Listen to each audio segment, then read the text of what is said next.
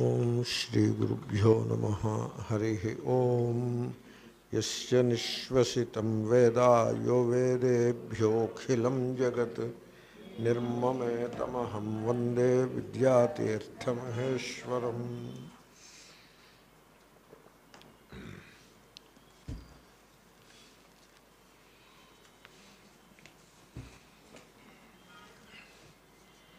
గ్రంథిభేదా గ్రంథిభేదాత్ పురాప్యేవం ఇది చేత్తన్న విస్మర అయమేవ గ్రంథిభేద తవ తేన కృతీ భవాన్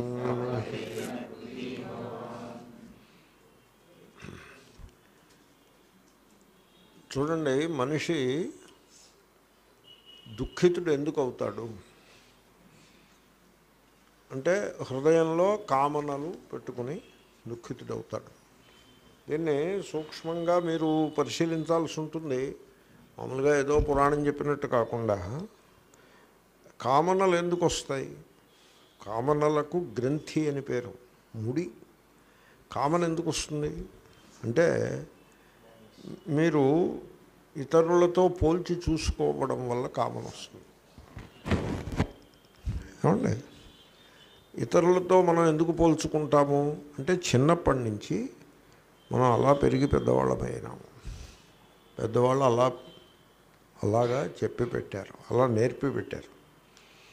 నేను చిన్నప్పటి నుంచి వింటున్నాను. చూడు వాళ్ళ అబ్బాయిని ఎంత బాగా చదువుకుంటున్నాడో. నువ్వు అసలు ఎందుకు పనికిరావు? అనే చెప్పేవారు. అలాగే చెప్పేవారు. నేను ఎంతోమంది అలా చెప్తూ ఉండడం చూశాను. తర్వాత బాగా చదువుకుంటున్నాడు అనుకోండి సపోజ్. బాగా చదువుకుంటుంటే చూడు వాళ్ళ ఎంత బాగా చదువుకుంటున్నాడో అనడానికి వీల్లేదుగా వాడు ఫస్ట్ క్లాస్ స్టూడెంట్ అనుకోండి. అప్పుడు చూడు వాడు ఎంత చక్కగా డ్రెస్ చేసుకున్నాడో. నువ్వు చూడు. చొక్కాకి మొత్తం లేదు. ముళ్ళు పెట్టి పెడుతున్నావు. ఏమిటి ఆ చొక్కా ఏమిటి? ఆ పద్ధతి ఏమిటి? చూడు వాళ్ళ అబ్బాయి చూడు ఎంత క్లీన్గా డ్రెస్ చేసుకున్నాడు అని చెప్పేవారు. ఏం క్లీన్గా డ్రెస్ కుట్టిస్తే అందరూ వేసుకుంటారు ఉండాలి కదా. తర్వాత ఇంకొంచెం పెద్దవాళ్ళు అయిన తర్వాత భర్తతో భార్య ఉంటుంది చూడు ఆయన నీ నీతో సమానమైన ఉద్యోగం చేస్తున్నాడు. వాళ్ళ ఆవిడకేమో వంద తులాలు బంగారం ఉంది నా ఒంటి మీద రెండు తులాలు కూడా లేదు అని ఇదో రకం కంపా కంపారిజన్ అనేది ఎలా ఉంటుందో మీకు సూచనగా చెప్పాను తర్వాత వాళ్ళ ఇంట్లోనేమో డబుల్ డోర్ రెఫ్రిజిరేటర్ ఉంది మన ఇంట్లో సమ్ డొక్కు రెఫ్రిజిరేటర్తో మనం కాలక్షేపం చేస్తున్నాం అని కంపారిజన్. తర్వాత మీరు ఫుట్పాత్ మీద నడిచి వెళ్తుంటే కారులో వెళ్ళిన వాడిని చూసి మీరు దుఃఖపడతారు. కంపేర్ చేసుకుంటారు. ముందు కంపారిజన్. ఆ ఫ్యాక్టరీలో పెద్ద ఆఫీసరు స్కూటర్ మీద వెళ్తున్నాడు. వాడి కింద పనిచేసే ప్యూను వాడి కింద పనిచేసే వర్కరు కారులో వెళ్తాడు కొత్త కారు. అప్పుడు ఆశ్చర్య వీడికి కారు ఎక్కడి నుంచి వచ్చిందా అని. వాడు సారా వ్యాపారం పెట్టాడు. మన ఆఫీసులో పనిచేసి ఊరికే అలా మాట వరుసకి చేస్తున్నాడు తప్ప వాడు వ్యాపారం భార్య పేరు మీద పెట్టాడు. గవర్నమెంట్ ఉద్యోగం వ్యాపారం పెట్టకూడదు. అందుగురించి భార్య పేరు మీద ఇండియా వాళ్ళకి అదేమీ లేదు. ఏదో they will find a way. భార్య పేరు మీదో బావమరుది పేరు మీదో వ్యాపారం పెట్టాడు. దాంట్లో అతను బాగా సంపాదించి కారులో తిరుగుతున్నాడు. వీడు ఆఫీసరు వీడు స్కూటర్ మీద పోతున్నాడు. నేను చూశాను ఈ ఆఫీసర్ అతన్ని చూసి కారులో వెళ్తున్న ప్యూన్ను చూసి ఎంతో దుఃఖపడిపోయాడు. పోల్చి చూసుకోవడము కంపారిజన్ తర్వాత అంబిషన్ అంటే ఏమిటి? నాకున్నది ఏది? నేను ఎవరు? అని తెలుసుకోవాలనే ఉత్సాహం ఎవరికి ఉండదు. ఏదో పొందాలి దేనినో పొందాలి అనే తృష్ణ. సో దానివల్ల వే వేలున్నవాడికి లక్షలు కావాలి లక్షలు ఉన్నవాడికి కోట్లు కావాలి. పేదవాడు ధనవంతుడు కావాలని కోరుకుంటాడు ధనవంతుడు మరింత ధనవంతుడు కావాలని కోరుకుంటాడు మరింత ధనవంతుడు రాజకీయ అధికారాన్ని పొందాలని కోరుకుంటాడు. కాబట్టి ఏదో ఒక అంబిషన్ తర్వాత కంపారిజన్ విత్ అదర్స్. ఇది ఇవి తప్పని మనకు అనిపించదు. ఇవి తప్పని అనిపించదు. పైగా ఇవే ఒప్పు అని మనకి చిన్నప్పటి నుంచి పెద్దవాళ్ళు నేర్పి పెట్టారు. పెద్దవాళ్ళు వాళ్ళు అలా ఎందుకు నేర్పారంటే వాళ్ళకి జాతనైన జీవితం అంతే. వాళ్ళేం పెద్ద బుద్ధిమంతులేం కాదు. వాళ్ళేమీ ఆత్మస్వరూపం తెలుసున్న వాళ్ళు కాదు. తమ ఎందలి పూర్ణత్వం అనుభవానికి తెచ్చుకున్న వాళ్ళు కాదేమేను. ఏవో కర్మకాండ చేసినంత మాత్రాన వాళ్ళు గొప్పవాళ్ళు అయిపోతారా? తమ తమ హృదయంలోని పూర్ణత్వాన్ని దర్శించే దర్శించగలిగితే వాడు జ్ఞానం అవుతాడు తప్ప ఏదో మంత్రాలు వల్లించి కర్మకాండాలు చేసేస్తే జ్ఞానం అయిపోడు. కాబట్టి వాళ్ళకి జాతరైంది ఏమిటంటే ఏవో కొన్ని విశ్వాసాలు వాళ్ళు ఎరుగుదరంతే. సమ్ బిలీఫ్ సిస్టమ్స్ వాటిని వాళ్ళు అందిపుచ్చుకుని వాళ్ళు ఎప్పుడో ఆలోచించిన వాళ్ళు కాదు. పెద్దవాళ్ళు అందజేసినటువంటి నమ్మకములను విశ్వాసములను అందిపుచ్చుకొని వాటినే మనకు అందజేసేసి వాళ్ళ దారిని వాళ్ళు వెళ్ళిపోయారు. ఇప్పుడు వాళ్ళని నిందించడం అన్న నా అభిప్రాయం కాదు. నేను అనేది ఏమంటే మనలో ఉన్న ఆ కాన్షియస్నెస్ యొక్క స్ట్రక్చర్ ఆ చేతన యొక్క రచన అది ఆనందానుభవానికి అనుకూలంగా లేదు. ఆ చేతన యొక్క రచనలో మౌలికమైన దోషములు గలవు. ఆ దోషములు ఏమిటంటే సరిపోల్ ఇతరులతో పోల్చి చూచుకొనుట జీవితంలో ఉన్నదానితో తృప్తి పడడం ఎరుగకుండగా తన స్వరూపమేమో తెలుసుకోవాలనే ఆకాంక్ష లేకుండగా దాని స్థానంలో తన వద్ద లేని దానిని మరొక దానిని దేనినో పొందాలనే తృష్ణ అంబిషన్. ఇతరులతో పోటీ స్పర్ధ పో- స్పర్ధ అని అంటారు పోటీని. ఈ కార ఈ లక్షణాలు ఉండడం బట్టి వీడి హృదయంలో కామనాగ్రంథులు నిర్మాణమై ఉంటాయి. ముళ్ళు ముళ్ళు ముళ్ళు కింద ఉంటాయి హృదయంలో. ఎప్పుడైనా బత్సలి పాదు చూసారా ఆ గింజలు ఎలా ఉంటాయి? ముళ్ళు ముళ్ళు ముళ్ళు కింద ఉంటాయి చూడండి. అలా వీడి హృదయం నిండా బత్సలి పాదు గింజల బత్సలి గింజల తుట్టలు ఎలా అయితే ఉంటాయో వీడి హృదయంలో కామనల తుట్టలు అలా ఉంటాయి. అంత మాత్రం అంచేతనే వాడు సంసారి అని అంటారు. ఓకే? తర్వాత కామన అనగానే మీరు ఏదో పని కట్టుకుని నాకు వజ్రపు టుంగరము కావాలి అని కోరుకుంటే అది కామన అంటే అంత మాత్రమే కాదు. కామన్ అంటే అలాగేదో ముద్ద ముద్దుగా ఒక కోరిక అలా అంత మాత్రమే కాదు. మీరు ఎక్స్పెక్టేషన్స్ అని అంటారు అపేక్ష. ఇప్పుడు మీరు పెంచి పెద్ద చేసిన మీ పుత్రుడు మీరు చెప్పిన మాట వినాలి అనే అపేక్ష మీరు పెట్టుకుంటే అది కూడా కామనే అవుతుంది. మీకు మీ నైబర్ మీకు ఉపకారం చేయాలి అని మీరు అనుకుంటే అది కామనే. అది కామనే. నా భార్య నాకు కూర పప్పు పులుసు చక్కగా తయారు చేసి పెట్టాలి అని మీరు అనుకుంటే అది కూడా కామనే అవుతుంది. ఎందుకంటే మీరు వలనరబుల్ అయిపోతారు. మీరు అలా అనుకున్నందుకు గాను ఆవిడకి తెలిసి చేస్తుందో తెలియకుండా చేస్తుందో తెలియదు కానీ మొత్తానికి మీరు అలా అనుకున్న రోజులు భోజనం చెడిపోతుందంటే. కాబట్టి మీరు హృదయంలో ఒక ఆఘాతాన్ని అనుభవానికి తెచ్చుకుంటారు. ఎక్స్పెక్టేషన్. తర్వాత ఇంకో ఎక్స్పెక్టేషన్ అంటే ఇతరులతో మనం మెలిగేటప్పుడు వాళ్ళ నుంచి మనం కొంత అపేక్ష పెట్టుకోవటం. అవన్నీ కామన్లే ఉంటాయి. ఇంకొకటి ఉన్నది. యాంటిసిపేషన్ అంటారు. అంటే భవిష్యత్తులో ఈ విధంగా జరుగుతుంది అని మీరు ఎక్స్పెక్టేషన్ ఏంటంటే ఇతరులను రిలేషన్షిప్స్లో ఉండేదాన్ని ఎక్స్పెక్టేషన్స్ అని అనుకున్నట్లయితే భవిష్యత్తులో పరిస్థితులు ఈ విధంగా నాకు అనుకూలంగా ఉంటాయి అని యాంటిసిపేషన్ అది కూడా కామనే అవుతుంది. అంటే అంటే అంటే మీరు అనొచ్చు. మరి ఏమండి? అసలు కోరికలు లేకుండా అపేక్షలు లేకుండా యాంటిసిపేషన్ కూడా లేకుండా బతకడం ఎలాగా అని. అంటే మీకు గ్రంథులు లేకుండా బతకడం ఎలాగా అని అడిగినట్టుంది ఆ ప్రశ్న? ఇది ఎలా ఉందంటే హా చుట్టూ హాస్పిటల్స్ ఉన్నాయి రోగాలు లేకుండా బతకడం ఎలాగా అని అడిగినట్లు ఉన్నది రోగాలు లేకుండా బతకవచ్చును. అలాగే కామనలు లేకుండా మనిషి బ్రతకవచ్చును బ్రతకాలి. మీరు దేవాలయానికి వెళ్తే కామనలు తీర్చుకోవడం ఎలాగో చెప్తారు అక్కడ. వేదాంత క్లాస్కి వస్తే కామనలు లేకుండా బ్రతకడం అనేది ఒకటి ఉన్నది అది నేర్చుకో అని చెప్తారు. సరైన వేదాంత క్లాసులో. ఈ మధ్యకాలంలో ఈ అరకొర వేదాంతులు వచ్చిరాని వేదాంతులు వచ్చి అన్ని అన్నింటిలోనూ వచ్చిరాని మంత్రాల వాడు పౌరోహిత్యం చేసినట్టుగా వచ్చిరాని వేదాంతి వేదాంత పాఠాలు చెప్పడం ప్రారంభిస్తాడు. గీత పాఠం మొదలు పెడతాడు.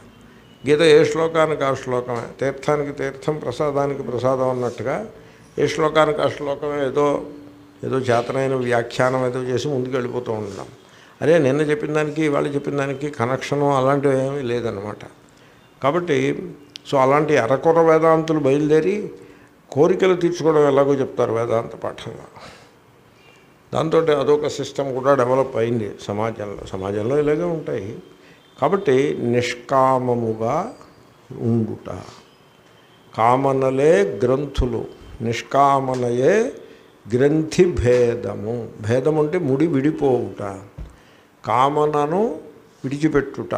కామనను ఎప్పుడైతే విడిచిపెట్టినారో దాని పేరే గ్రంథి భేదము అని అంట. ఓకే? ఇప్పుడు గ్రంథి భేదము వలన మీకు కలిగే ఉపకారం ఏమిటి? అంటే మీకు ముక్తి ఫ్రీడమ్ ఫ్రీడమ్ వచ్చేస్తుంది. సో అప్పుడు ఏమవుతుందంటే మీ లోపల మీకు ఎప్పుడైతే మీరు బయటికి చూడడం మానేస్తా కామనలు అంటే బహిర్ముఖులుగా ఉంటారు. కామనలను విడిచిపెట్టుట అంటే అంతర్ముఖులు అవుతారు. దాని పేరే అంతర్ముఖత్వము అంటే. ఆ విధంగా మీరు ఎప్పుడైతే అంతర్ముఖులై ఉంటారో అప్పుడు మీ లోపల మీకు మీలో ఉండే ఆ చైతన్యం యొక్క ప్రకాశము అనుభవానికి వస్తుంది. ఆ పూర్ణత్వము ఆ ఆనందము అనుభవానికి వస్తాయి. ఆ విధంగా తనయందలి పూర్ణత్వమును తనయందలి ఆ చైతన్యము యొక్క వెలుగును ఆవిష్కరించుకొని అనుభవమునకు తెచ్చుకొనుటయే యథార్థమైన మతము. మతము ట్రూ రెలిజియన్ మతం అనగానేమి? మతం అనగానేమి అంటే మీరు కనుక ఎవరినైనా అడిగారనుకోండి వాళ్ళు ఏం చెప్తారంటే నామాలు గట్టిగా పెట్టుకోవాలి. తర్వాత ముఖానికి పెట్టుకుంటే చాలదు చేతులకి ఈ వక్షస్థలం మీద పొట్ట మీద నడ్డి మీద కూడా పెట్టుకోవాలి నామాలు. నామాలు కాకపోతే పోనీ విభూతి భస్మ. భస్మ ఎలా పెట్టుకోవాలి? ఇలా ముఖానికి అడ్డంగా పెట్టేసుకుని తర్వాత చేతులకి వన్ టూ త్రీ ఫోర్ కొంతమంది త్రీ కొంతమంది మళ్ళీ ఈ చేతికి. ఆ తర్వాత మెడకి. తర్వాత ఇక్కడ వక్షస్థలం మీద రెండు పొట్ట మీద. ఆ తర్వాత వెనకాల ఎప్పుడైనా మీరు చూసారా వెనకాల పెట్టుకుంటారు? తర్వాత నెత్తి మీద. గుండు గీయించుకుని ఉంటాడు కదా నెత్తి మీద. ఇంకా ఇంక గోడకి పెట్టడం తర్వాత ఏదో అన్నిటికీ విభూతి అయిపోయింది. అది పెట్టుకోవాలి. తర్వాత ఏదో నిత్య ఏవో కొన్ని రిచువల్స్ ఉంటాయి. ఆ రిచువల్స్ చేస్తూ ఉండాలి. ఏదో మంత్రం ఉంటుంది. అది జపం చేస్తూ ఉండాలి. అలాగ ఈ- ఆ- విధంగానే జీవించాలి అని అదే మతము. తర్వాత దేవాలయం. ఆ, దేవా ఒక ఆయన నాతో దెబ్బలాట. దెబ్బలాట అంటే కంప్లైంట్ నా మీద. ఏమిటి? దేవాలయానికి నువ్వు రావు అని. నేను అన్నాను నేను దేవాలయానికే వెళ్తున్నాను రా అంటే అదేమిటి? దేవాలయానికి కాదు కానీ నువ్వు వెళ్తుంటే దేవాలయం పక్క నుంచి వెళ్తున్నావు కదా. ఎక్కడికి వెళ్తున్నాను? పక్క నుంచి? అంటే గంగ ఒడ్డుకు వెళ్తున్నావు. అదే దేవాలయం. ఆ ఎదురుకుండా ఏం కనపడుతోంది? హిమవత్ పర్వతం. అది దేవాలయం. తర్వాత ఆ బోర్డు వాక్ మీద సిమెంట్ వాక్ హృషికేశ్లో సిమెంట్ వాక్ మీద పువ్వులు అమ్ముతూ ఆడపిల్లలు అమ్మాయిలు చిన్న చిన్న పిల్లలు కనపడతారు. వాళ్ళందరూ హృదయాల్లో దేవుడు ఉన్నాడు. అది దేవాలయం కదా. నీ హృదయంలో కూడా దేవుడు ఉన్నాడు. అంటే ఇంత విని బయటికి వెళ్ళి ఆయన దేవాలయానికి వ్యతిరేకి అని మాట్లాడ్డాం ఇప్పుడు నేను చెప్పింది అది యథార్థమైన మతం. ఒక కాంపౌండ్ వాల్ కట్టి లోపలేమో బిల్డింగ్ కట్టి దాంట్లో విగ్రహం పెట్టి దానికి ఏదో పూజలు అవి చేస్తూ ఇది దేవాలయం అనుకోవడము అది యథార్థమైన మతానికి దారి అని మీరు అంటే నాకేం అభ్యంతరం లేదు కానీ అదే యథార్థమైన మతం అనడానికి వీర్లేదు కాబట్టి ట్రూ రెలిజియన్ అనే పేరుతో యథార్థమైన ధర్మము మత రెలిజియన్ అంటే మతము లేక ధర్మము వాస్తవమైన ధర్మము అనే పేరుతో స్వామి వివేకానంద స్వామి రామతీర్థ మొదలైన మహాత్ములందరూ చెప్పినారు. త్యాగరాజస్వామి ఒక కీర్తనలో అంటాడు రామ అనేస్తే సరిపడదురా తెలిసి నా తెలిసి చింతన రామచింతనతో నామము సేయవే మనస. తెలిసి అంటే జ్ఞానం ఉండాలి. రామచింతన అంటే నీ మనస్సులో ఆ భావన ఉండాలి. నోట్లో నామం ఉండాలి. మూడు మూడు లెవెల్స్లో కలయిక వస్తే రామనామం. అదేమీ లేకుండా భావన లేదు జ్ఞానము లేకపోతే రామ అంటే రామ అంటే ఆ రామాకి అర్థం శ్రీరాముడు కాదు. అక్కడ శ్లేషలు వాడాడు. ఆ కీర్తన ఈ కీర్తనలు పడి వాళ్ళకి ఇవేం తెలియఉండవు వాళ్ళు అవేం తెలుసుకోరు. వాళ్ళకి అసలు ఇంట్రెస్టే ఉండదు వాటి మీద. రామ అంటే అమ్మాయి అని ఒక అర్థం ఉంది. కాబట్టి నువ్వు ఎవరో ఒక అమ్మాయిని ఉద్దేశించి రామ అంటున్నావా? లేకపోతే తెలిసి రామచింతనతో నామం చేస్తున్నావా? అని అడిగాడు ఆయన. అని అడిగి దానికి ఒక దృష్టాంతం చెప్పాడు. అర్క అంటే సూర్యభగవానుడు అని అర్థం ఉంది జిల్లేడు మొక్క అని కూడా అర్థం ఉంది. అర్క అంటే అర్క శబ్దానికి రెండు అర్థాలు ఉన్నాయి. కాబట్టి ఒకడు అర్క అంటాడు. అంటే వాడు సూర్యభగవాను గురించి అన్నట్టా లేకపోతే జిల్లేడు మొక్క గురించి అన్నట్ట?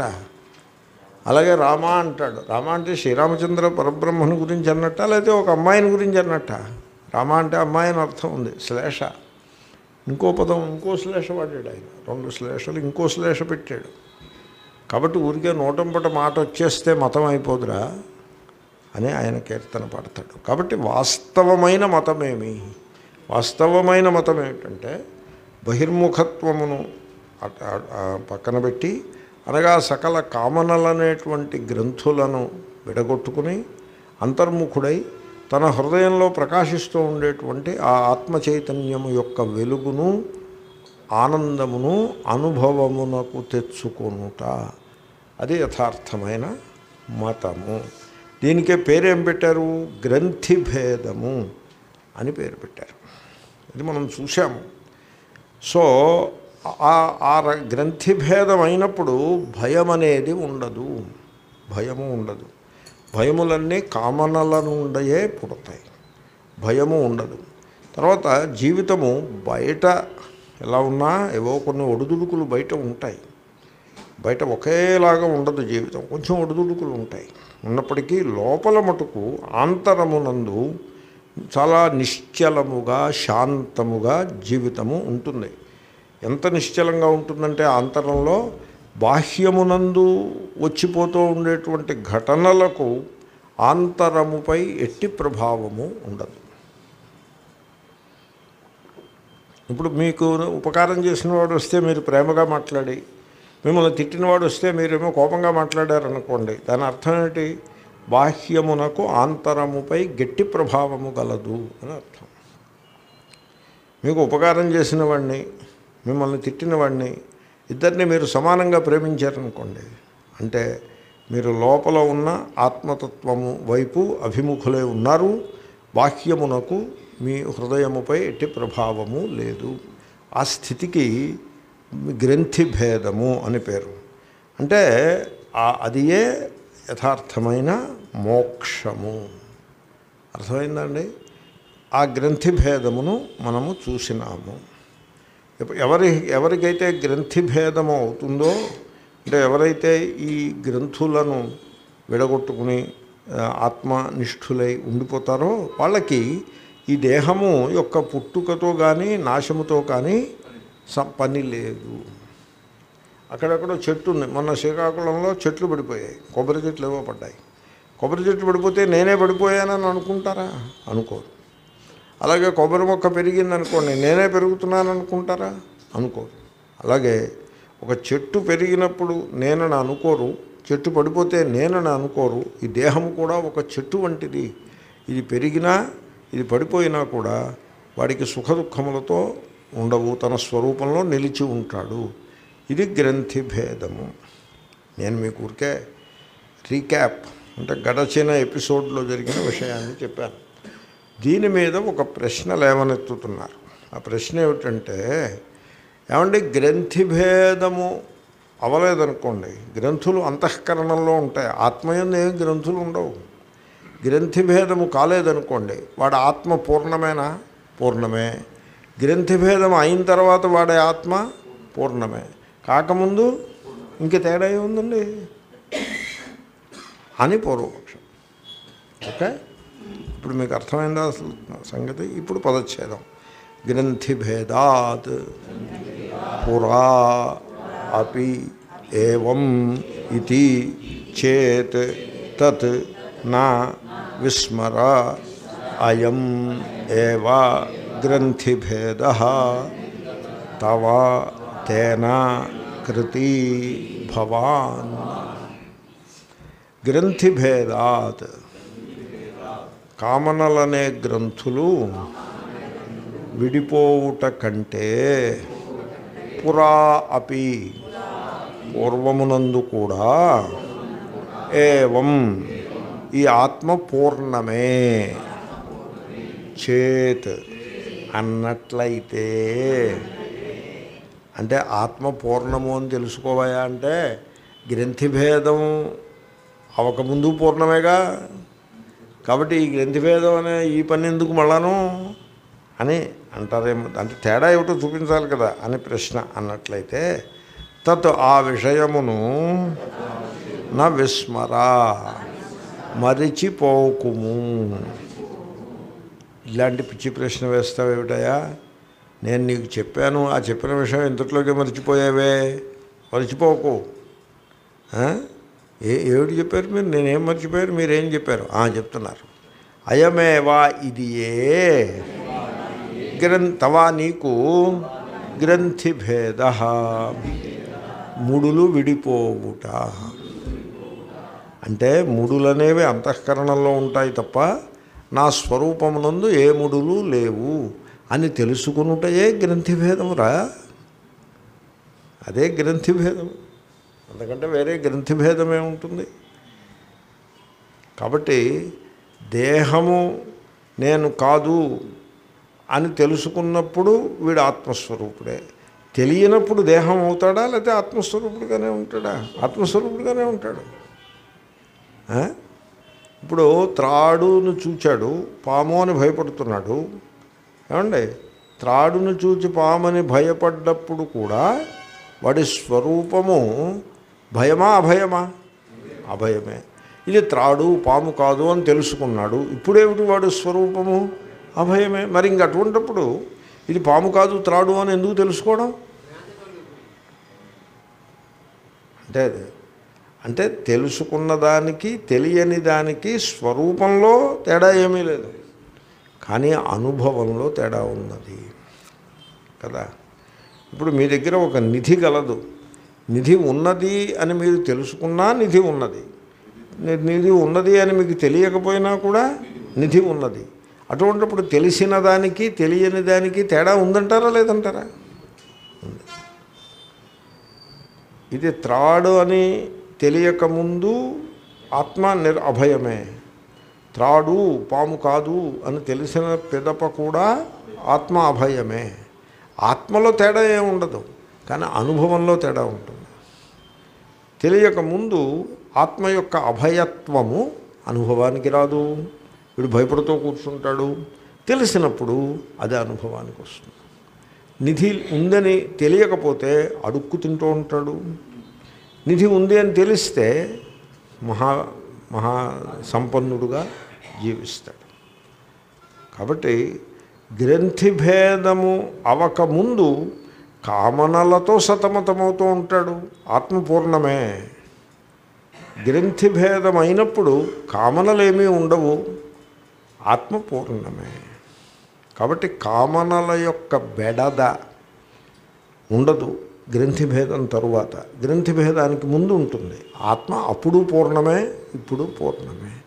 కాబట్టి అనుభవంలో భేదం ఉంటుందే తప్ప స్వరూపంలో భేదము లేదు. ఆ సత్యమును తెలియుటయే గ్రంథిభేదములో భాగము. అంటే ఏమిటి? ఈ గ్రంథులు అనేవి కామనలు. ఇవి అంతఃకరణలో ఉన్నాయి తప్ప నా స్వరూపమునందు లేవు అని తెలియుటయే గ్రంథిభేదము. నేను ఆ మాట ఇంతకుముందు నీకు చెప్పాను. నువ్వు అది మరువవద్దు అని అంటున్నాను నేను ఒక విషయాన్ని క్లాస్లో చెప్పేవాడిని. చెప్పి ఎక్స్పెరిమెంట్గా కూడా మీరు దీన్ని మీరు అభ్యాసం చేయండి అని చెప్పేవాడిని. ఇప్పుడు మీకు ఒక వజ్రము వజ్రపు టుంగరము అంటూ ఉంటా. ఏదో అనాలి కదండి. ఏడు అస్తమానం వజ్రపు టుంగరం అంటున్నాడని మీరు నా మీద కంప్లైంట్ చేయకండి. ఏదో ఒకటి అనాలి కదా. వజ్రపు టుంగరం అనాలి లేదా నెక్లెస్ అనాలి. ఆ తర్వాత కొడుకు అనాలి కూతునాలి ఇంక ఇవేం కాకపోతే ఇంకేముంటాను నేను? కుక్క పిల్ల దృష్టాంతం ఇవ్వడం నాకు ఇష్టం లేదు. కాబట్టి ఈ నాలుగు దృష్టాంతాలతోటి కాలక్షేపం చేస్తున్నాను ఓకే? ఇప్పుడు మీరు చూడండి వజ్రపుటుంగరము ఒకటి మీకు ఉన్నది. ఖరీదైందనుకోండి ఖరీదు ఖరీదు పెట్టండి దానికి. ఏదో ఎవడో నా ప్రియుడు నాకు ఇచ్చాడు అనే ఆ సెంటిమెంటు ఓ నెల ఉంటుందో ఏడాది ఉంటుంది తర్వాత పోతుంది అది. కానీ ఖరీదు అనేది ఇంపార్టెంట్ కదా? దట్ ఈజ్ ఇంపార్టెంట్ కాబట్టి వజ్రపుటుంగరము ఇది దీనిపై నాకు ఆసక్తి అటాచ్మెంట్ కలదు అని మీరు అనుకుంటున్నారు. నాకు ఆసక్తి గలదు. ఈ ఆసక్తి కారణంగా నేను భయప భయం ఉంటుంది కదా. ఆసక్తి ఉంటే భయం ఉంటుంది. పోతుందేమో అని భయం ఉంటుంది. మీకు ఎంతసేపు దృష్టి దాని మీదే ఉంటుంది. మీరు ఏదో రామనామం చేద్దాం అనుకుంటే వజ్రపుటంగరం మీద ఉంటుంది దృష్టి. శివాలయంలోకి బయట చెప్పులు కొత్త చెప్పులు విడిచిపెట్టి శివాలయంలోకి వెళ్తే దృష్టి ఎక్కడ ఉంటుంది? చెప్పుల మీదే ఉంటుంది. ఆసక్తి అనేది అలా ఉంటుంది. శివాలయంలోకి వెళ్ళినంత మాత్రాన ఆసక్తి ఏం లేకుండా అయిపోదు. శివాలయంలోకి అంచేతనే శివ క- చెప్పులు లేకుండా నడిచి వెళ్తే ఆసక్తి ఈ ఈ సమస్య ఉండదు. లోపలికి వెళ్ళి దేవుణ్ణి దర్శించి రావచ్చు. మీరు ఖరీదైన చెప్పులు వేసుకుని అక్కడ బయట విధులు పెట్టి లోపలికి ప్రవేశిస్తే యువతలకు వచ్చేప్పుడు చెప్పులు లేకుండా నడిచి రావాల్సి వస్తుంది. చాలా కష్టపడతారు. అందు గురించి లోపల ఉన్నప్పుడు కూడా అదే దృష్టి ఉంటుంది. అస్తు సో వజ్రపుటుంగరము దాని మీద ఆసక్తి. ఆ ఆసక్తి ఉన్నప్పుడు మీ స్వరూపము పూర్ణమా అపూర్ణమా? పూర్ణమే. ఆసక్తి పోయినప్పుడు కూడా పూర్ణమే. కానీ ఆసక్తి యొక్క అనుభవం అనేది మనిషిని బంధిస్తుంది. దానికి నేను ఎక్స్పెరిమెంట్ చెప్పేవాడిని ఇలాగా. మీరు పని చేయండి. మెడిటేషన్లో కూడా చెప్పేవాడిని నేను. మీరు మీకు బాగా ఆసక్తి గల ఒక ఐటెం తీసుకోండి. కొంతమందికి ఉంగరం అంటే ఆసక్తి ఉంటుంది. కొంతమందికి మెడలో లాకెట్టో ఏదో పెట్టుకుంటారు. ఖరీదైంది. ఏదో పులిగోరు. పులిగోరు ఎందుకు? పులి పులిగోరు అంటే ఏమిటి? ఇప్పుడు మనిషి గోరు ఏం చేస్తారు? కట్ చేస్తే ఏం చేస్తారు? మెడలో వేసుకు తిరుగుతారా? లేకపోతే బయట వేస్ట్ బాస్కెట్లో పడేస్తారా? పులిగోరు ఎవడో ఒరిజినల్ మిస్చీఫ్ మేకర్ ఒకడు ఉంటాడు వాడిని అనుసరించి మిగతా వాళ్ళందరూ పులిగోరు ఎందుకు? పిల్లి గోరు పెట్టుకోవచ్చుగా? పిల్లి కూడా గోరు ఉంటుంది. ఆ పిల్లిని పట్టుకుని దాన్ని కట్ చేసి పోని దానికి చుట్టూ ఏదో పెట్టచ్చు కదా. జనులు చేసే పనులకు అర్థమే ఉంటుంది. అంత నిరర్థకమైన పనులు అవే తప్ప వేరే ఏమీ లేదు. ఈ పులిగోరు పథకం పెట్టుకుంటాడు. పెట్టుకుని దాని మీదే ఉంటుంది వీటి దృష్టి ఎంతసేపు దాని మీదే ఉంటుంది. దాని మీద ఆసక్తి ఉంటుంది. సో అటువంటి ఐటెం ఒకటి తీసుకో. తర్వాత కొడుకు కూతుళ్ళపై ఆసక్తి ఎలాగ ఉంటుందో తర్వాత చేయొచ్చు ఆ పని. అది కొంచెం కష్టం. కొంచెం తేలిగ్గా ఉన్నది మొదలుపెట్టు. ఇప్పుడు నువ్వేం చేస్తావంటే కళ్ళు మూసుకుని నిటారుగా కూర్చుని మొత్తం సావధానంగా కూర్చుని ఇదిగో ఈ పులిగోరు పథకము నా మెడ ఎందు గలదు. దీని ఎందు నాకు ఆసక్తి ఉన్నది అని నేను అనుకుంటున్నాను. అలా అనుకోబట్టే కదా దీన్ని మెళ్ళ వేసుకుని అస్తమానం దాన్ని సవరించుకుంటూ అది జాగ్రత్తగా భద్రం చేసుకుంటూ బతుకుతున్నా పదేళ్ళ నుంచి అదే పనిగా. సో ఈ కాబట్టి ఇది నిశ్చయము. ఏమిటి? ఈ పులిగోరు పథకముపై నాకు ఆసక్తి గలదు. అది ఖరీదైంది కూడా. కాబట్టి దాని ఎందు నాకు ఆసక్తి గలదు. ఓకే? నిజముగా యథార్థముగా నాకు దీనిపై ఆసక్తి ఉన్నదా? ఉందా? ఏమిటి అసలు ఆసక్తి అంటే ఏమిటి? దీనిపై నాకు యథార్థముగా ఆసక్తి ఉన్నదా? అని ప్రశ్నించుకోండి. ప్రశ్నించుకోగానే అరే ఇంతకుముందు ఉందని అనిపించింది. ఈ ప్రశ్న వేస్తే ఉందో ఉందా ఉందో లేదా అనేది సందేహంలో పడిందే. మంచిది. ఆసక్తి ఉందో లేదో ఉన్నట్టు అనిపిస్తోంది. తీరా పరిశీలిస్తే లేదేమో అని కూడా అనిపిస్తోంది. ఈ ఆసక్తి ఈ పులిగోరు పథకముపై నాకున్న ఆసక్తి. ఈ ఆసక్తి అసలు ఏమిటిది? దీన్ని నేను పరిశీలిస్తాను. ఈ ఆసక్తి అంటే ఎలా ఉంటుందది? ఎర్రగా ఉంటుందా? తెల్లగా ఉంటుందా? పొడుగ్గా ఉంటుందా? లేకపోతే పొట్టిగా ఉంటుందా? మెత్తగా ఉంటుందా? గట్టిగా ఉంటుందా? అబ్బే అదేం లేదండి. ఆసక్తి అలా ఏమి ఉండదు. మరి ఏమిటి ఆసక్తి? లెట్ మీ ఎగ్జామిన్ ఇట్ నేను దాన్ని పరిశీలిస్తాను అని మీరు పరిశీలించండి. చిన్న మెడిటేషన్ చేయండి. దీన్ని మెడిటేషన్ అంటారు. మెడిటేషన్ కూడా డెఫినేషన్ ఉంది. మీకు ప్రాపంచిక విషయములపై గల ఆసక్తిని పరిశీలించుట ధ్యానమనబడును. లేదండి కళ్ళు మూసుకుని అమ్మవారు ఐదు తలకాయలు ఉన్నాయని నేను భావన చేస్తానంటే చేయండి మీరు తప్పేం కాదు. కానీ మీ భావన నిలబడదు. ఓ ఐదు నిమిషాలు అయ్యేప్పటికీ మీకు ఫ్రస్ట్రేట్ అయిపోతారు. ఇంకా అంచేతనే మన వాళ్ళు ఏం చేశారంటే ఈ భావన ఎలాగో నిలబట్టలేదు కనుక ఓ శ్లోకం ఒకటి తయారు చేసి పెట్టుకుని దాన్నే నాలుగు సార్లు వల్లించుకోవడం. దానికి అడ్డేం లేదుగా. మెకానికల్గా టేప్ రికార్డులాగా నూటంపటి వచ్చేస్తుంది. దాంతో సంతృప్తి పడ్డాం. ఎందుకంటే మనస్సుతోటి ధ్యానం చేయటం అనేది ఏమీ కుదరదు. మీరు ఎక్కడైనా చూడండి ధ్యానం అంటాడు. అని ధ్యాన శ్లోకము ఉంటారు మీరు ధ్యాన శ్లోకం అని ధ్యాన శ్లోకాన్ని చదివి మంత్రజపం చేసేవాడికి ఆ ధ్యాన శ్లోకం అర్థం తెలియదు ముందు. వాడు ఊరికే ధ్యానం అని చదువుతాడే తప్ప దాని అర్థం తెలియదు విభక్తి జ్ఞానం ఉంటే కదా అవన్నీ సంస్కృతంలో ఉంటాయి. కొన్ని తెలుగులో రాసి పెట్టుకుంటే అదో రకం. అవన్నీ సంస్కృతంలోనే అట్టు పెట్టుకుంటాడు. దాని అర్థం తెలియదు వాడికి. శ్లోకం కూడా తప్పు చదువుతాడు. ఒకవేళ అర్థం తెలుసుకుంటే మనస్సు దాని మీద నిలబడదు. ఊరికే ధ్యానం అనే శ్లోకం బడబడబడ చదివేసి మంత్రం చెప్పడమే తప్ప మనస్సు దాని మీద నిలబడదు. తర్వాత మంత్రానికి అర్థం వేరే ఉంటుంది ధ్యాన శ్లోకానికి అర్థం వేరే ఉంటుంది. ఈ సిస్టమ్ పెట్టిన వాడిని పట్టుకుని మొట్టికాయలు వేయాలి. ధ్యానం అని నువ్వు అన్నప్పుడు దేన్ని ధ్యానం చేస్తున్నావో దాని అర్థం వేరు ఆ- తత్వం వేరు నువ్వు చెప్పే మంత్రం తత్వం వేరు. ఈ మంత్రం చదువుతో ఆ అర్థాన్ని ధ్యానం చేయాలా? ఎక్కడైనా ఈ మాటేనా అది? ఈ మాట నేను కాకినాడలో చెప్పాను. నన్ను కొట్టకుండగా నన్ను రైలు ఎక్కి రానిచ్చారు అందుకు సంతోషిస్తున్నాను. కాబట్టి అది కాదు ధ్యానం అంటే ఇది ధ్యానము. ఈ- ధ్యానం మీరు చేసి నాకు చెప్పండి ఇంకా ఆ పులిగోరు పథకం పెట్టుకోవాలనే కోరిక మీకు మిగులుందా? ఉందా పోయిందా చెప్పండి నాకు మీరు. పోతుంది. ట్రై చేయండి. పోతుంది. ఏమనిపిస్తుందో తెలుసిన? ఏమిటి ఈ దిక్కుమాల పథకం ఇంకా ఇవాళ తీసి ఎరా ఎవరికైనా కావాలా? ఇది పట్టుకెళ్ళండి. అనిపిస్తుంది. ఇచ్చేయచ్చు. దాన్ని ధ్యానము అంటారు. కాబట్టి ఇప్పుడు చెప్పండి ఆసక్తి ఉన్నది అని అనుకుంటే ఆత్మ యొక్క పూర్ణత్వము కప్పివేయబడుతుంది. అబ్బే ఆసక్తి ఉందా అని ప్రశ్నిస్తే ఆ ఆసక్తి యొక్క బ్రతుకు బయటపడుతుంది. ఆసక్తి పోతుంది. మీ పూర్ణత్వం మీకు అనుభవానికి వస్తుంది. దీన్నే గ్రంథి భేదము అంటారు. మరి దానికి దీనికి తేడా ఏమిటంటే అదే తేడా. గ్రంథి భేదం అనేది కల్పితమైన వాసనలు కల్పితమైన కామనల యొక్క తొలగించుకొనుటయే తప్ప ఆత్మస్వరూపంలో మార్పు ఉండదు చేర్పు ఉండదు తగ్గింపు ఉండదు హెచ్చింపు ఉండదు అని తెలియుటయే గ్రంథి భేదము. అదే నువ్వు తెలుసుకో అంతే. అంతకంటే వేరే గ్రంథి భేదము లేదు. ఇప్పుడు చెప్పండి త్రాడు చూసి పాము అనుకుని భయపడ్డాడు. అరే త్రా పాము కాదురా అది. త్రాడు సరిగ్గా చూడు అని. వీడు సరిగ్గా చూశాడు. అరే ఇది త్రాడండి పాము కాదు. భయం ఏమైంది? పోయింది. ఇప్పుడు ఎటువంటి భయం పోయింది? యథార్థంగా ఆత్మస్వరూపానికి అంటిపెట్టుకుని ఉన్న భయం పోయిందా? లేకపోతే ఉందని వీడు భావించిన కల్పితమైన భయము పోయిందా? కల్పితమైన భయమే పోయింది. కాబట్టి గ్రంథి అనేది ఏదైనా భయరూపమైన గ్రంథి అయినా ఆసక్తి లేక కామన అనే రూపంలో ఉన్న గ్రంథి అయినా మనస్సు చేసుకున్న తప్పు కల్పన. గ్రంథిభేదము అంటే ఆత్మస్వరూపానికి ఏం గ్రంథి భేదం అంటూ ఏం ఉండదు.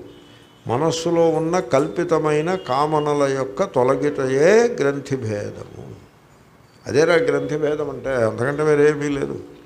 కాబట్టి గ్రంథి భేదానికి పూర్వానికి తర్వాతకి తేడా ఉంది కనుక ఆత్మస్వరూపంలో తేడా ఉందని నువ్వు అనుకుంటే పొరపాటు. తేనా దాని చేత తేనా ఆ గ్రంథి భేదముచే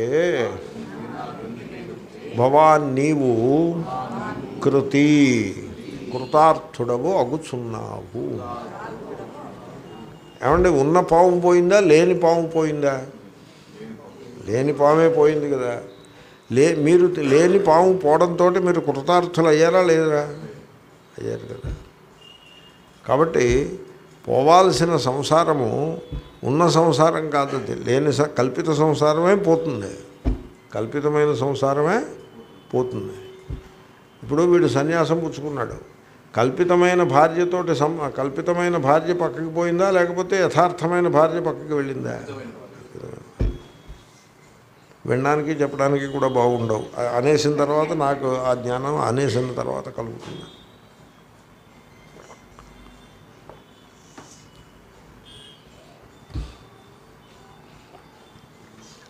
మళ్ళీ అందాము. ఒక్కసారి అనేస్తే ఆ శ్లోకం అయిపోయినట్టు అక్కడికి.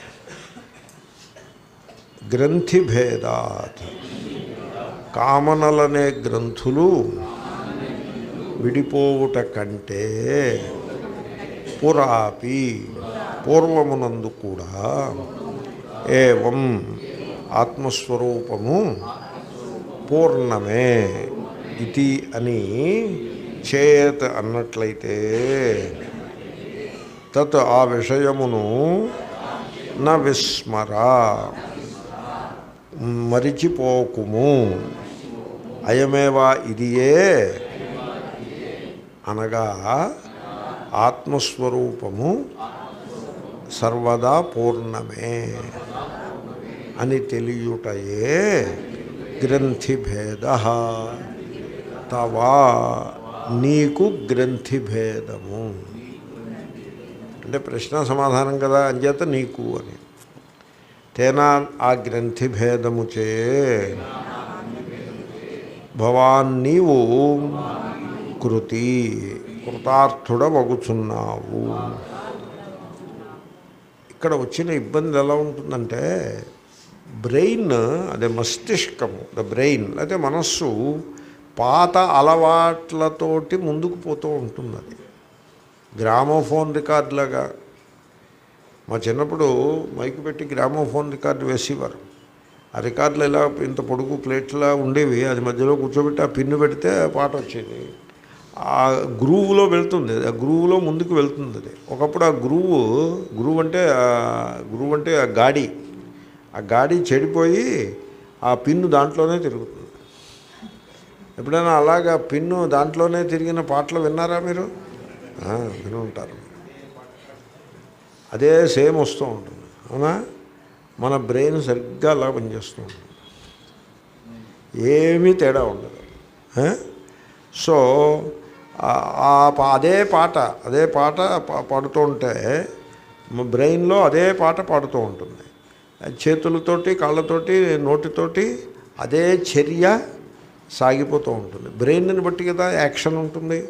ఎప్పుడైతే మనస్సులో అదే సంకల్పం అలాగా తిరుగుతూ ఉంటే గ్రామోన్ వాడు చేసేటువంటి పని కూడా అలాగే ఉంటుంది. దానివల్ల ఏమవుతుందంటే నూతనమైన విషయమును వినేటువంటి అలవాటు తప్పిపోతుంది. ఒక వినూత్నమైన విషయాన్ని వినే అలవాటు తప్పిపోతుంది. సో అంటే ఏమిటనమాట మీరు మీ మనస్సు ఒక విధంగా ఆలోచించడానికి దాన్ని ఫిక్స్ చేసి అలవాటు చేసి పెట్టారు. కండిషనింగ్ అంటారు.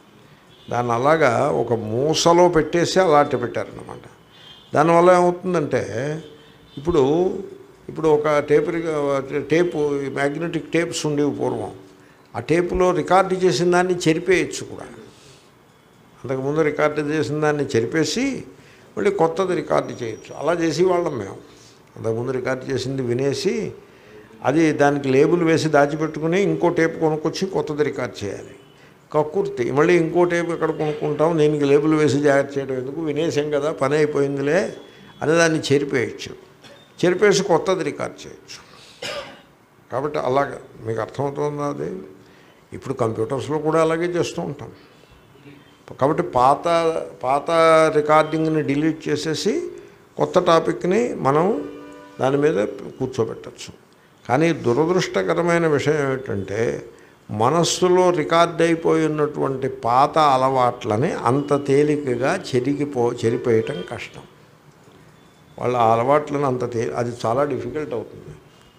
ఆ పాత గురువులో ఏర్పడినటువంటి భావజాలాన్ని చెరిపేసి దాని స్థానంలో కొత్త విషయాన్ని ప్రవేశపెట్టడం అన్నది చాలా కష్టం. అంచేతనే జనులు ఏం చేస్తారంటే ఆ కష్టమైన దారికి వెళ్ళరు. ఆ ఉన్నదాన్నే రిపీట్ చేసుకుంటూ పోతూ ఉంటారు. దానికే ఏదో కొత్తదనాన్ని పాతదే రిపీట్ చేసుకుంటారు. ఆ పాత దానికే రిపీట్ చేసేదానికే దాని విలువ ఎంత అని ప్రశ్నించుకోరు. ఎందుకంటే ఆ ప్రశ్న వీడు వేసుకున్నాడు అనుకోండి అప్పుడు వాడి జీవితం నిర్వీర్యమైపోతుంది. ఎందుకంటే వాడు చేస్తున్నది నీరు గారిపోతుంది. దాంట్లో ఏమీ సారం లేదని వాడికే తెలిసిపోతుంది. అంచేతనం అదే చేస్తూ ఉంటారు. దాన్నే రిపీట్ చేస్తూ ఉంటారు. ఆ దానికే మతం అని పేరు పెట్టుకుంటారు. అలాగే జనులు జీవిస్తూ ఉంటారు. మీరు మత మత సంప్రదాయంలో చూడండి కొత్తది ఏమీ ఉండదు. కొత్తదనం అనేది ఏమీ ఉండదు. తర్వాత కొత్తదనాన్ని ద్వేషిస్తారు. కొత్తదనాన్ని రెసిస్ట్ చేస్తారు. దానికి ప్రతిఘటన ఉంటుంది దాన్ని అడ్డుకుంటారు. తర్వాత ద్వేషిస్తారు. వాళ్ళకి తెలియని లేకపోతే వాళ్ళకి అలవాట్లో లేని విషయాన్ని దేనిని చెప్పినా విద్వేషాన్ని మనం సృష్టించిన వాళ్ళం అవుతాం. నేను మీకు అనుభవం మీకు చెప్తున్నాను కొత్తది కొత్తది ఏది చెప్పకూడదు. వాడికి అలవాటైంది ఏదో ఉంటుంది అదే. ఆ పాట అలాగే పాడతాడు. అరే తప్పు పాడుతున్నావురా అంటే దెబ్బలాడతాడు. ఆ పాడిన పాట ఎందుకు పాడతావు? ఇంకేదైనా కొత్త పాట పాడరా అంటే ఏ ఈ పాట తక్కువదా? అంటాడు. కాబట్టి జనులు ఈ విధంగా ఈ బండి గాడిలో నడిచినట్టుగా నడుచుకుంటూ పోతారు. ట్రామ్ మన ట్రామ్ కార్లాగా నడుచుకుంటూ పోవడానికి సిద్ధపడతారు తప్ప స్వతంత్రంగా ఆలోచించి కొత్త విషయాన్ని తెలుసుకునే ప్రయత్నం చెయ్యరు. కాబట్టి మతం పేరుతో కామనలోవి పెట్టుకుని వాటిని అలా పెంచి పోషించుకుంటూ వాటితోటే జీవిస్తూ ఇదే జీవితం అని అనుకోవడం చాలా పొరపాటు. అవన్నీ గ్రంథులు. ఆ గ్రంథులను నీవు పోగొట్టుకో అని సారము. గ్రంథిభేదాత్ పురాప్యేవం ఇది చేత్తన్న విస్మరా. అయమేవ గ్రంథిభేద తవ తేన కృతి భవాన్ నైవం జానంతి మూఢాశ్చేత్ సోయం గ్రంథిర్న చాపర గ్రంథి తద్భేదమాత్రేణ వైషమ్యం మూఢబుద్ధయో చూడండి కొంతమంది కొన్ని ఆర్గ్యుమెంట్స్ ఉంటాయి. ఈ గ్రంథి భేదానికి సంబంధించి కొన్ని సమాజంలో మీకు కొన్ని ఆర్గ్యుమెంట్స్ మనకి వినబడుతూ ఉంటాయి. వాటిని పరిశీలించి వాటిలో ఉండే దోషాన్ని గుర్తించాలి. ఒక ఆర్గ్యుమెంట్ ఏంటంటే ఏమండి మీరు చెప్పింది కరెక్టే ఈ పులిగోరు పథకం అనవసరం వజ్రపు ఉంగరం అనవసరం బంగారపు గొలుసు కూడా అనవసరమే. కానీ మరి ఊళ్ళో వాళ్ళందరూ పెట్టుకుంటున్నారు కదా. ఇదో ఆర్గ్యుమెంటు ఈ ఆర్గ్యుమెంట్కి నేను ఇచ్చే సమాధానం ఏంటంటే ఎప్పుడైనా ఇప్పుడు నీకు ఊళ్ళో టైఫాయిడ్ ఉంది వీళ్ళకి టైఫాయిడ్ వచ్చింది వాళ్ళకి టైఫాయిడ్ వచ్చింది వాళ్ళకి టైఫాయిడ్ వచ్చింది అని ఉంది. పోనీ అంతకి వచ్చింది కదా పోనీ నీకు కూడా వస్తే బాగానే ఉంటుంది కదా. మీకు అంగీకారమేనా? కాబట్టి టైఫాయిడ్ అయితే నాకు రాకూడదు. ఊళ్ళో అందరికీ వచ్చినా కూడా నాకు రాకూడదు. కానీ బంగారం మీద వ్యామోహం ఊళ్ళో అందరికీ ఉంది కాబట్టి నాకు కూడా ఉండడంలో తప్పేం లేదు. ఉండాలి కూడా పైగా. అందరికీ ఉండి నాకు లేకపోతే ఇలాగా అని. అయ్యో ఇది ఎక్కడ భ్రమ? అలా ఉండకూడదు. అంటే ఏమిటనమాట మీ మనస్సులో ఇప్పటికే ముద్ర వేసి ఉన్నటువంటి ఆ పాత పాట ఓల్డ్ ఓల్డ్ ఈజ్ గోల్డ్ అన్నాం. ఓల్డ్ ఈజ్ గోల్డ్ అంటే when it is gold then old is gold. అదేమో ఇనప ముక్క అయితే ఓల్డ్ ఈజ్ గోల్డ్ అవ్వదు. And it is gold old is gold కాబట్టి మీ మనస్సులో ముద్రపడి ఉన్న పాత పాట ఏదైతే ఉందో ఆ పాత పాటని అంటే ఆ పాత ఆలోచన విధానాన్ని రాంగ్ థింకింగ్ పాతదైనంత మాత్రాన్ని గొప్పదవుతుందా? ఆలోచన విధానాన్ని మీరు విడిచిపెట్టడానికి సిద్ధంగా ఉన్నారా? దానికే గ్రంథి భేదము అని పేరు. దేన్నైతే ఇక్కడ గ్రంథి దాన్ని విడగొట్టుట అంటున్నామో అది ఒక మనిషి జీవితంలో అరవై ఏళ్ళ నుంచి ఉండుంటుంది అది వీడికి ఉంటుంది వీడి తండ్రికి ఉంటుంది తాతకు ఉంటుంది ముత్తాతకు ఉంటుంది అంతకాలం నుంచి ఉంటుంది. అందరూ అలాగే బతికారు. కోరికలు పెట్టుకోవాలి ఆ కోరికలకి మొక్కులు మొక్కుకోవాలి ఆ, దేవుడికేమో ఆపద ముక్కుల వాడు అని ఓ నామకరణం ఒకటి ఆయన చెప్పాడు మీ దగ్గరికి వచ్చి ఆపద ముక్కుల వాడు అని మనం పెట్టుకున్నాం. ఒరిజినల్ మిస్చీఫ్ మేకర్ ఒకడు ఉంటాడు. వాడు అంటాడు ఆపద ముక్కుల వాడని ఒకడు అన్నాడు వీళ్ళందరూ మళ్ళీ అదే పల్లవి పట్టుకుంటారు. సో వడ్డీ కాసుల వాడని ఇంకొక ఒరిజినల్ మిస్చీఫ్ ఇవన్నీ కూడా మిస్చీఫ్స్. అలాగా పెట్టుకుని అదే పాట పాడుతూ అదే ఆలోచన చేస్తూ ఉండడం. దాని పేరే గ్రంథి అని అంటారు. మీరు ఈ పాత పద్ధతిని పక్కన పెట్టగలుగుతారా? దానికే గ్రంథిభేదము అని పేరు. ఎలాగ పక్కన పెట్టడం ఎలాగా చేత్తో తీసి పారేయడమా అంటే తీసి పారేయడమే. ఎలాగంటే మీరు నిటారుగా కూర్చుండి కళ్ళు మూసుకుని ఆ గ్రంథి ఆ ముడి ఏది గలదో దానిని మీరు పరిశీలించటము సావధానతతో పరిశీలించగలుగుతారా? తర్వాత మీరు పూర్తి ఓపెన్ మైండ్తో శాస్త్ర ప్రవచనాన్ని శ్రవణం చేయగలుగుతారా? ఎప్పుడైతే మీరు కొత్తది రికార్డు చేస్తే పాతది జరిగిపోతుంది. ఆ పాత టేప్ రికార్డర్లు అలా ఉండేవి. అదే మోడల్లో మీరు పూర్తి సావధానతతో ఓపెన్ మైండ్తో శాస్త్రాన్ని ప్రవచనం శ్రవణం చేసినట్లయితే పాత అలవా పాతవి ఏవైతే ముద్రపడి ఉన్నాయో అవి పోతాయి. ఎందుకు ఈ మాట నేను ఎందుకు చెప్తున్నానంటే మీకు అందరికీ కూడా ఈ శాస్త్రము యొక్క బోధపై చాలా ప్రేమ గలదు. అందు గురించే వచ్చి ఇక్కడ కూర్చున్నారుగా. ఈ ట్రాఫిక్లో వచ్చి ఈ దుమ్ములో చుట్టూ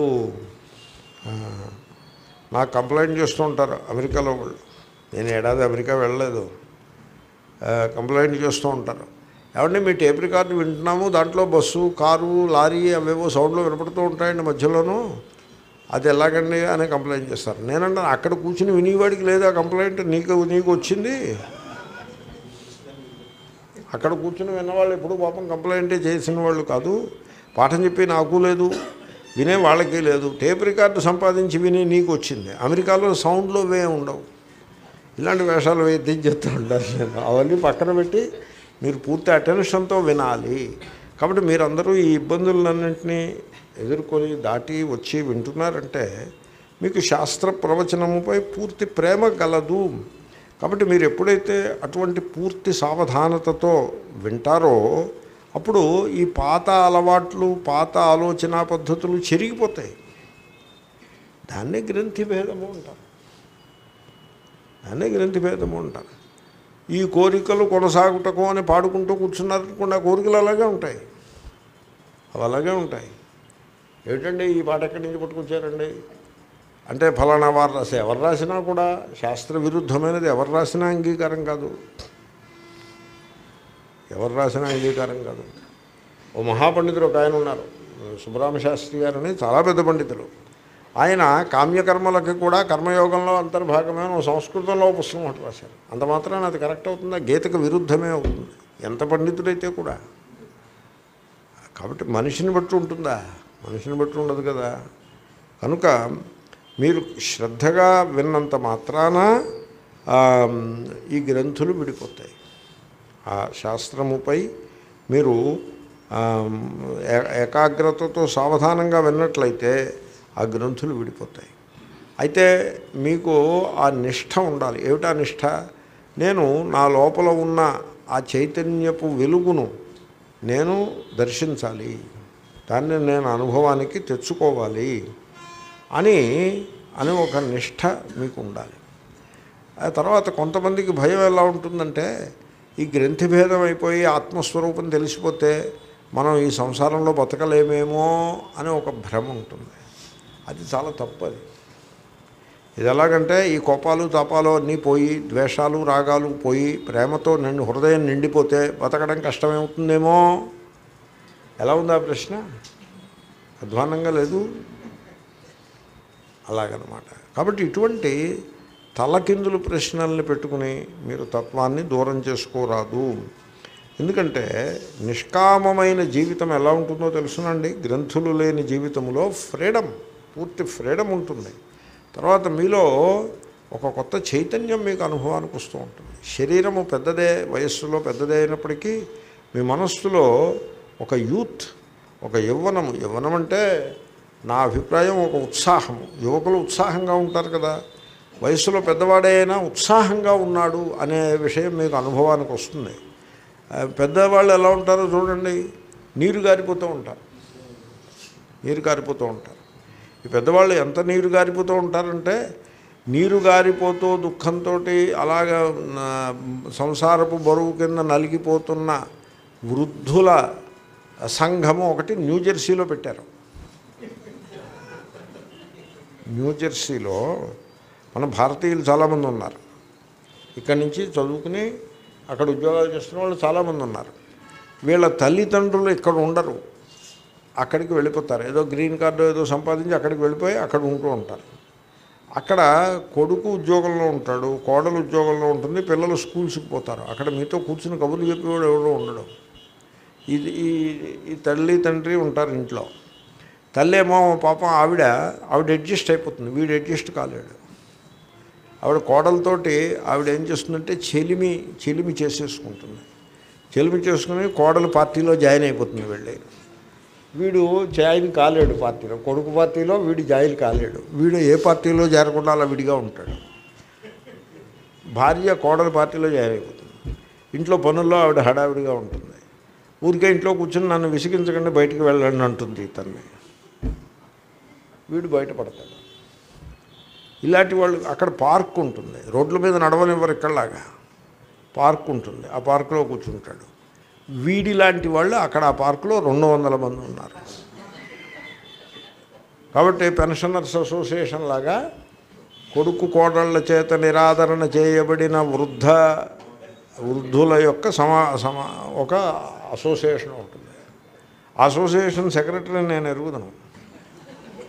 ఉంది దాని పేరేదో ఉంది. అసోసియేషన్ వాళ్ళు ఏం చేస్తారంటే పదిహేను రోజులకు ఒకసారి బస్సు వేసి వీళ్ళ నా చుట్టుపక్కల ఉండే మంచి మంచి ప్రదేశాలు అవి చూపించి తీసుకొస్తారు. వీళ్ళ మనస్సుని కొంత శాంతింపజేయటం కోసం. అలా బతుకుతూ ఉంటారు మనుష్యులు. అలా గ్రంథుల్ని పెట్టుకుని అలా బతుకుతూ ఉంటారు. అలా బతకక్కర్లా.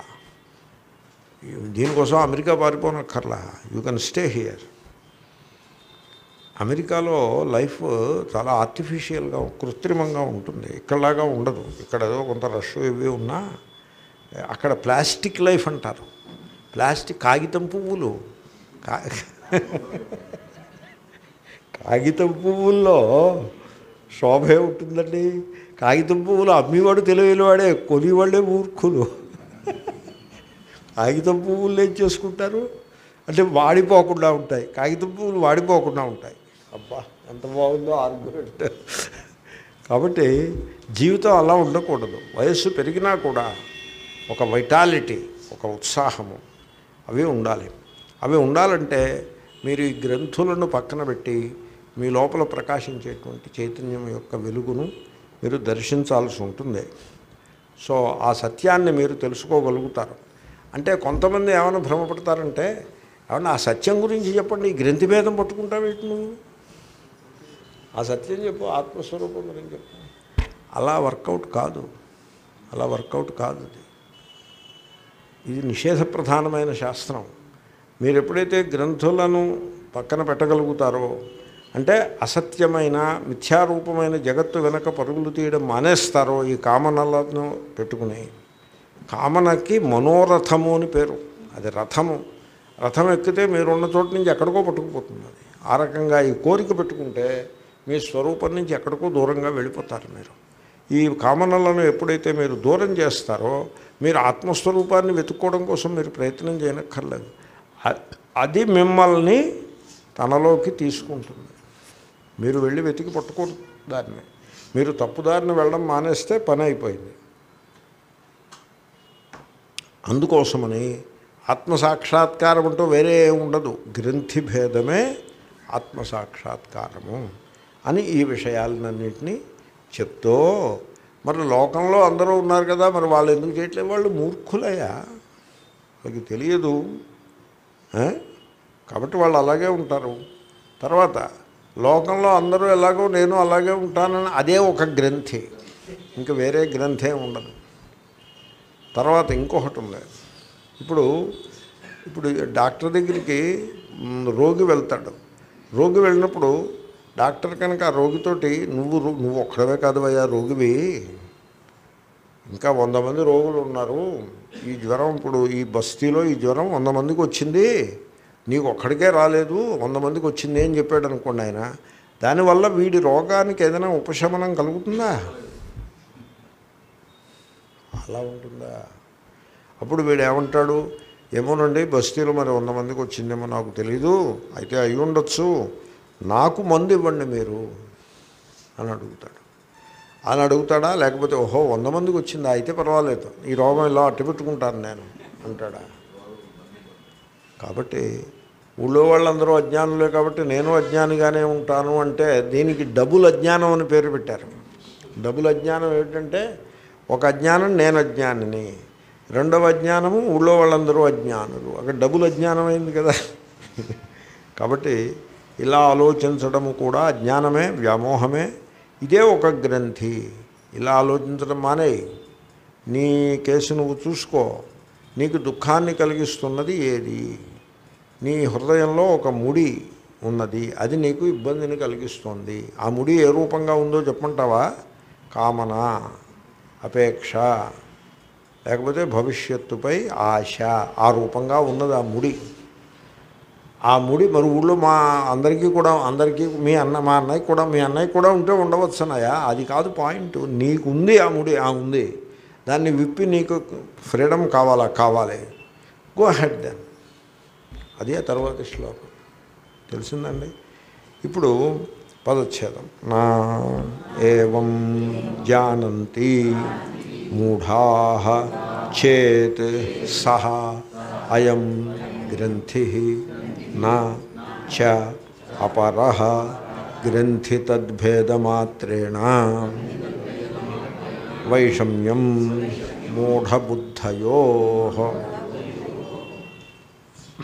మూఢా మూర్ఖులైన జనులు ఏవం? ఈ విధముగా అనగా ఆత్మపూర్ణమని నజానంతి తెలియకున్నారు. అంటే ఊళ్ళో చాలామంది ఉన్నారండి. ఊరికే ఆత్మ ఆత్మ దోమ దోమ అన్నట్టుగా ఆత్మ ఆత్మ అని రోజంతా ఆత్మ అంటావు ఏమిటాయా ఊళ్ళో చాలామంది ఉన్నారుగా నువ్వు ఒక్కడవే ఉన్నావా? నీ ఒక్కడి ముఖాన్నే పొద్దు పొడిచిందా? అలా అడుగుతారు. నీ ఒక్కడి ముఖాన్నే పొద్దు పొడిచిందా అని అడుగుతారు. నన్ను ఎవరో ఏదో అడిగారు. నేను అన్నాను నన్ను ఎందుకు అడుగుతున్నారు మీరు? The sun rises and falls equally on all అని నేను అన్నా సూర్యోదయం నా ఒక్కడి కోసం అయిందా? అందరికీ సూర్యోదయం అయింది అందరికీ సూర్యాస్తమయం అయింది. కాబట్టి ఊళ్ళో అందరూ అజ్ఞానుడే ఉన్నారండి. నేను ఒక్కడే నా అజ్ఞానిని నా ఒక్కడే నెత్తినే ఈ పొద్దు పొడిచిందా? అని అంటావేమో. అది అది పూర్వపక్షం ఓకే? చేత అన్నట్లయితే సహా అట్టి అయం ఈ భావనయే గ్రంథి ముడి అపరహ ఇంకో ముడి నచ లేనే లేదు. నాన్న నీకున్న ముడిదేరా నీ ముడిదే ఈ ముడి చాలామందిలో కనపడుతుందండి. మీరు గమనించారో లేదో చాలామందిలో కనపడుతుంది ఈ ముడి. సో చాలామంది ఏమంటారంటే ఏమండి కామనలను మానేమని మీరు అంటున్నారు బాగానే ఉంది. మరి ఆయనేమో కామనలని పెట్టుకోమని చెప్పాడే. మరి ఈయన ఇలా చెప్పాడే. ఆ తర్వాత మొన్న ఎవరో ఒక ఆయన నేనేదో చెప్తే దాన్ని రెసిస్ట్ చేశారు. అంటే దానికి అడ్డంగా అడ్డపడ్డారు. అడ్డుపడితే నేను కూకలేశాను. కొంచెం కోకలేసి హక్కు నాకు ఉందేమో అనుకుని కోకలేసాను కోకలేసేసిన తర్వాత ఏమనుకోకుండా మళ్ళీ సముదాయించాను అనుకోండి ఎందుకంటే పాపం పెద్ద ఆయన ఏదో అడిగితే మనం అలా కోకలేసేస్తే ఇలాగా సో నేనేమన్నానంటే నేను ఏమన్నానంటే అలాగా అలా గుడ్డెద్దులాగా ప్రతిదీ నమ్ముకుంటూ ముందుకు వెళ్ళడం కాదండి ఆలోచించాలండి. ఆలోచించి మీరు తెలుసుకుని దాంతో ముందుకు వెళ్ళాలి అనేతో నేను ఆ రకంగా చెప్పాను. చెప్తే ఆయన అంటాడు కాదండి మరి ఆయన ఆ ప్రవచనంలో అలా చెప్పారు కదా. అంటే మరి మీ ఆలోచన ఏమైంది? ఆయన అలా చెప్పారు సరే మరి మీ ఆలోచన ఏమైంది? అని నేను అన్నా.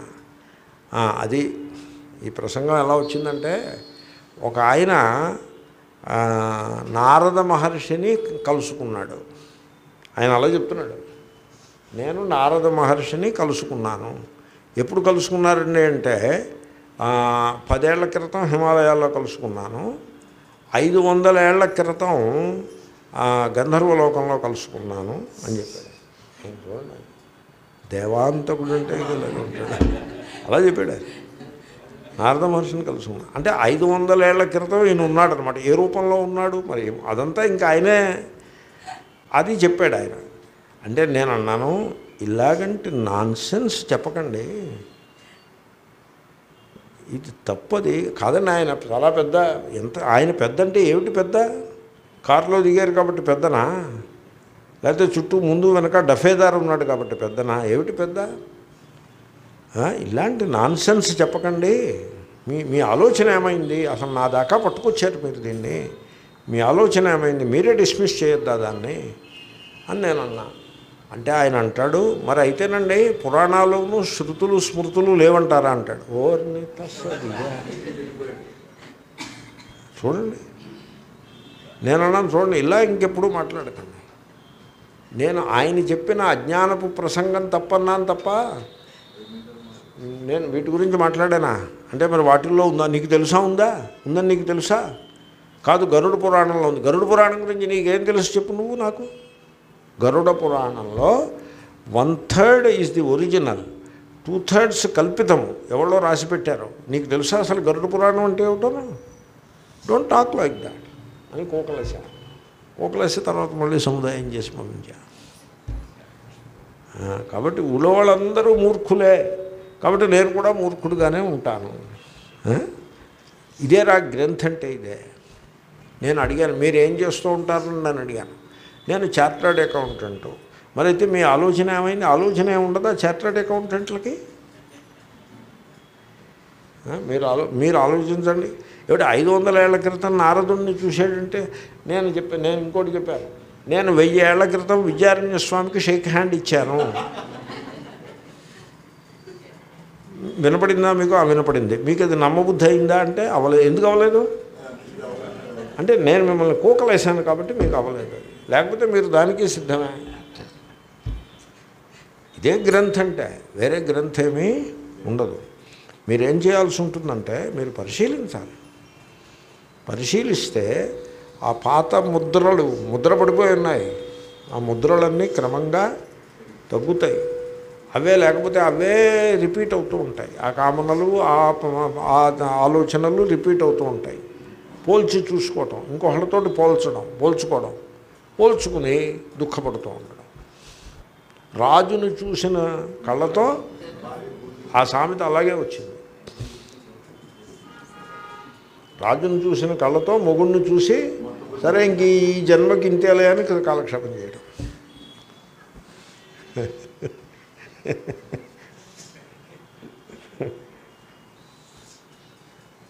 పెద్ద వరద వచ్చింది. వరద వస్తే ఒక ఆమె భర్త కొట్టుకుపోయాడు ఆ వరదలో. ఆ ఆమె గట్టి మీద ఉంది భర్త కొట్టుకుపోయాడు. కొట్టుకుపోతే పోలీసులు వచ్చి సహాయ సహాయక బృందాలు వచ్చాయి. సహాయక బృందాలు వస్తే ఈమె చెప్తోంది మీరు రక్షించండి వెతకండి ఆయన నా భర్త కొట్టుకుపోయాడు వరదలో అని. అంటే అప్పుడు వాళ్ళు అడిగారు ఎలా ఉంటాడని అడిగారు. ఎలా ఉంటాడంటే చక్కగా అందంగా పొడుగ్గా మంచి నిగనగలాడుతూ ఉంటాడు అని చెప్పింది ఆవిడ అంటే పక్కన ఆవిడ అంటుంది అలా అబద్ధం చెప్తావు ఎందుకు? నీ భర్త అలా నిగిలగిలాడితే ఉండు నల్లగా ఉంటాడు. ఆ తర్వాత ఏమో నడుము వంగిపోయి ఉంటాడు. ముసలాడిగా ఉంటాడు తప్ప అంత నిగనగిలాడుతూ యవ్వనంతో ఉండడు కదా అని పక్క ఆవిడ అలా చెప్తున్నావు ఏమిటి అని పక్క ఆవిడ అంటే ఉని వెతికేప్పుడు మంచివాడిని వెతుకుతాడని అలా చెప్తున్నాను అంటుంది ఆవిడ.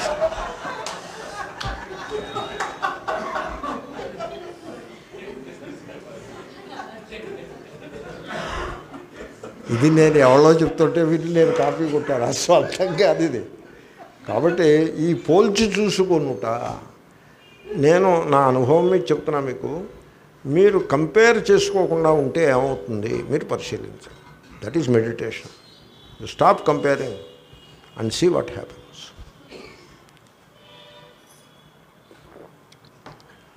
నేను నా అనుభవం చెప్తూ ఉంటా. శబ్దజ్ఞానం లేనివాడు విభక్తి జ్ఞానం లేనివాడు అంటే రామాత్ అంటే చతుర్థి పంచమి విభక్తి.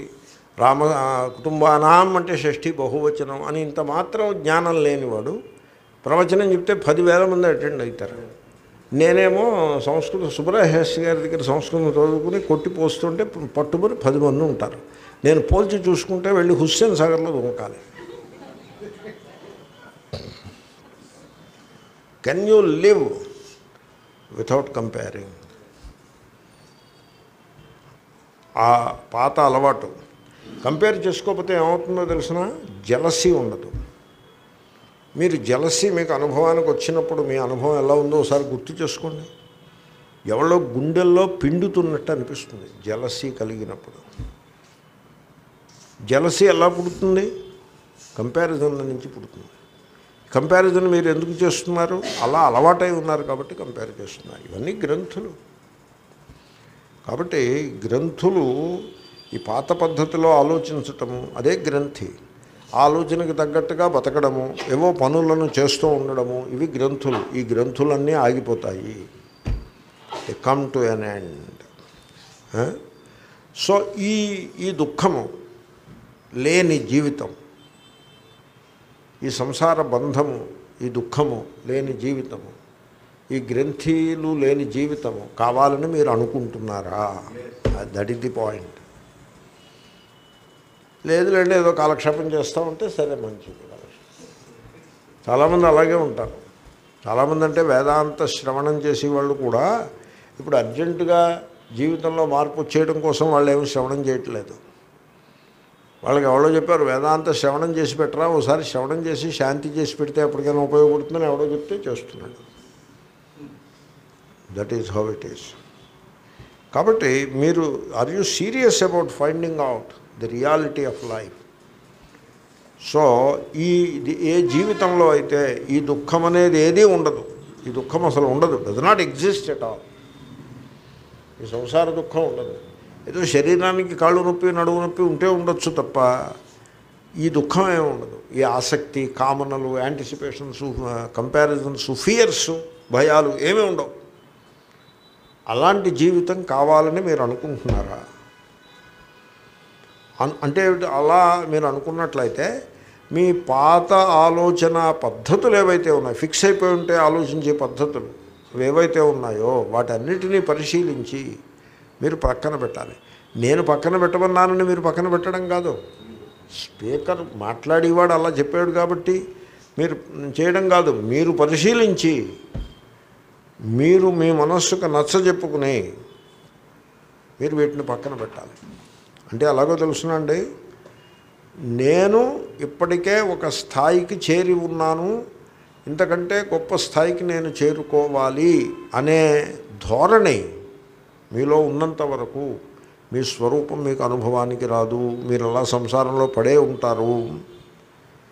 తర్వాత ఏ భావజాలమైతే నేను సంపాదించి పెట్టుకున్నాను నా బుద్ధిలో. దాన్ని నేను పరిశీలించను దాన్ని విడిచిపెట్టను అదే సీక్రెడ్ అని మీరు కనుక అనుకుంటే మీరు సంసార దుఃఖంలోనే మిగిలిపోతారు. తర్వాత ఫ్రాగ్మెంటరీ థింకింగ్ ఉంటుంది. అంటే ఏమిటి? నాది కులం ఇది నా వర్ణం ఇది నా మతం ఇది నా శక్తి ఇది నేను వైష్ణవుణ్ణి నేను శైవుణ్ణి నేనేమో పంజాబీని నేను మద్రాసీని అని ఇటువంటి ఫ్రాగ్మెంటరీ థింకింగ్ కనుక మీరు పెట్టుకుని ఉన్నట్లయితే మీరు ఈ సంసార దుఃఖంలోనే ఉండిపోతారు. మీ స్వరూపంలో ఈ ఈ ముక్కలు ఏమి ఉండవు. ఈ రకంగా ముక్కలు ముక్కలుగా ఆలోచించడం కూడా గ్రంథియే. ఎందుకంటే దాంట్లో భయం ఏర్పడుతుంది. సో ఈ రకమైన ఖండన చేసి ఆలోచించడం విఘటనాత్మకమైన చింతన ఉన్నంత వరకు జీవితంలో కన్ఫ్యూషన్ దుఃఖము భయము తప్పవు. కాబట్టి ఈ మానవ జీవితం ఎంతో జీవితం లేదు. కొద్దిపాటి జీవితం మిగిలి ఉన్నది. అది కూడా మహాప్రవాహంగా ముందుకు పోతోంది. మనం ఎంతో కాలం ఈ భూలోకంలో ఉండబోము. కాబట్టి ఉన్నప్పుడే ఈ మానవ జీవితం యొక్క స్వరూప స్వభావాలను తెలుసుకుని ఈ గ్రంథులనన్నిటినీ కూడా ప్రక్కన పెట్టి మనిషి కృతార్థుడు అవ్వాలి. ఆ దిశలో ఆలోచించాలి. చేసేదే ఉండదు. ఆ- దిశలో ఏం చేయాలి అంటే మీరు ఏం చేయక్కర్లేదు. చేసేదే ఉంటుందండి. దీంట్లో చేసేదేం లేదు. మీరు ధ్యానమే మీరు నేను చెప్పిన పాయింట్స్ని జాగ్రత్తగా పరిశీలించుటయే. తర్వాత ఇంకోటి ఏమన్నా ఆయన ఉన్నాడు ఆయనకేమో జీవన్ముక్తుట గ్రంథులేమీ లేవుట మాకేమో గ్రంథులు ఉన్నాయి కానీ ఆయనకి మాకు తేడా ఏమీ లేదుగా. ఆయన అలాగే ఉన్నాడు మేము అలాగే ఉన్నాం. ఆ- ఆయనకి ఈ జ్వరం వస్తే డాక్టర్ దగ్గరికి ఆయన వెళ్ళాడు మేము వెళ్ళాం. ఆకలి వేస్తే ఆయన ఫోన్ చేశాడు మేము ఫోన్ చేసాం ఇంక తేడా ఏముంది? అని మీరు అంటారేమో అది తెలుగు తక్కువే. బాహ్యంలో ఏ తేడా ఉండదు. మీకే చూసుకోండి. మీ గ్రంథులు మీరు పక్కన పెట్టారనుకోండి మీ ఇంట్లో వాళ్ళు కొద్ది రోజుల తర్వాత వాళ్ళకి ఆశ్చర్యం వస్తుంది వీడు ఇలా తయారయ్యాడు ఏమిట్రా ఎందుకంటే బాహ్యంలో తేడా ఏ ఉండదు. తేడా అంతా అంతరంలోనే ఉంటుంది. బాహ్యంలో సేమ్ ఉంటారు. ఆంతరంలో ఒకడిని చూస్తే రాగము ఉండదు ఇంకొకడిని చూస్తే ద్వేషము ఉండదు. అలా ఉండడం సంభవమైన సంభవమే. ఆంతరంలో కోరికలు ఏమీ ఉండవు. ఆంతర ఒక సేయింగ్ ఉంది. ఒక మహాత్ముడి జీవితంలో నథింగ్ ఎవర్ గోస్ రాంగ్ అన్నారు. మహాత్ముడికి తప్పు దారిలో వెళ్తున్నది ఏదీ ఉండదు. ఏ ఏ దారి ఉంటే అదే మంచి దారి. సర్వమును తన స్వరూపంగా స్వీకరించగలుగుతారు కాబట్టి జ్ఞానికి అజ్ఞానికి తేడా ఏమిటి? ఏమీ కనపట్టం లేదు కదా. జ్ఞాని అలాగే ఉన్నాడు అజ్ఞాని ఒకలాగే అజ్ఞానిలాగే పైకి ఉన్నాడు. కాబట్టి గ్రంథులని అట్టపెట్టుకున్న దానికి గ్రంథులను పోగొట్టుకున్న దానికి తేడా ఏమిటి? అని అంటే అదే తేడా. తేడా తెలుసుకోలేకపోవడమే తేడా. అదే గ్రంథి. అదే అంటారు. సో మూఢబుద్ధయో. మూర్ఖునకు జ్ఞానికి. గ్రంథి తద్భేద మాత్రేణ. గ్రంథులు ఉండుట అవి విడిపోవుట. ఇంత మాత్రము చే వైషమ్యం తేడా ఉండును. అంతే తేడా ఇంకేం తేడా లేదు. అంతే తేడా. దీనికి ఒక దృష్టాంతం నేను చెప్పాను. ఒక ఆయన నడిచి వెళ్తున్నాడు. ఈ పిల్లలు రబ్బరు పాముతో ఆట పెడితే ఆయన దారిలో వేశారు. చెప్పాను నేను అది. ఆయన ఎగిరి గెంతేసి పారిపోయాడు అక్కడి నుంచి. ఇంకొక ఆయన నడిచి వెళ్తున్నాడు. ఈ పిల్లలు మళ్ళీ ఆయన దారిలో వేశారు. ఆయన ఆ రబ్బరు పావుని ఇలా ముడిచి జేబులో పెట్టుకుని వెళ్ళిపోయాడు. ఆయనకి ఈయనకి తేడా ఏమిటంటే ఇంతే తేడా. ఆ పాము త్రాడును చూసి పాము అనుకుని భయపడి పారిపోయాడు ఆయన. త్రాడు ఇది పాము కాదని తెలుసుకుని జేబులో పెట్టుకున్నాడు ఈయన. అప్పుడు ఆ పిల్లలు ఆయన వెంటబడ్డారు. సార్ సార్ మా పాము మాకు ఇచ్చేయండి. ఏమిట్రా పాము ఏమిట్రా? పాము ఎందుకు? పాము ఏం చేసుకుంటారు? పాము నా జేబులో ఎందుకు ఉంటుంది? పామును పట్టుకోకూడదు కదా కరుస్తుంది కదా. అంటే సార్ అది పాము కాదండి. మేము మిమ్మల్ని ఆట పట్టించడం కోసం వేసాము రబ్బరు పాము. అది పది అది ఆరణాలు పూర్వం షాప్ ఉండేది తీర్థంలో. ఏ వస్తువైనా ఆరణాలే అని ఓ షాప్ ఒకటి ఉండేది. ప్రారంభం ఏంటంటే మా దగ్గర ఆరణాలు ఉండేవి కావు. మేము ఆ షాపును అలా దూరం నుంచి అలాగా కళ్ళప్పగించి చూసేవాళ్ళం. విండో షాపింగ్ చేసేవాళ్ళం తప్ప. ఎందుకంటే ఆరణాలు ఉండేవి కావు. పెద్దవాళ్ళు పావలా ఇచ్చేవారు. ఎన్నింటి ఈ పావలాలో ఎన్ని వస్తాయి? కళ్ళజోడికి అదే బూరాకి అదే అన్నిటికీ తర్వాత పకోడీలకి అదే. ఎన్ని వస్తాయి దాంట్లో పావులాలో?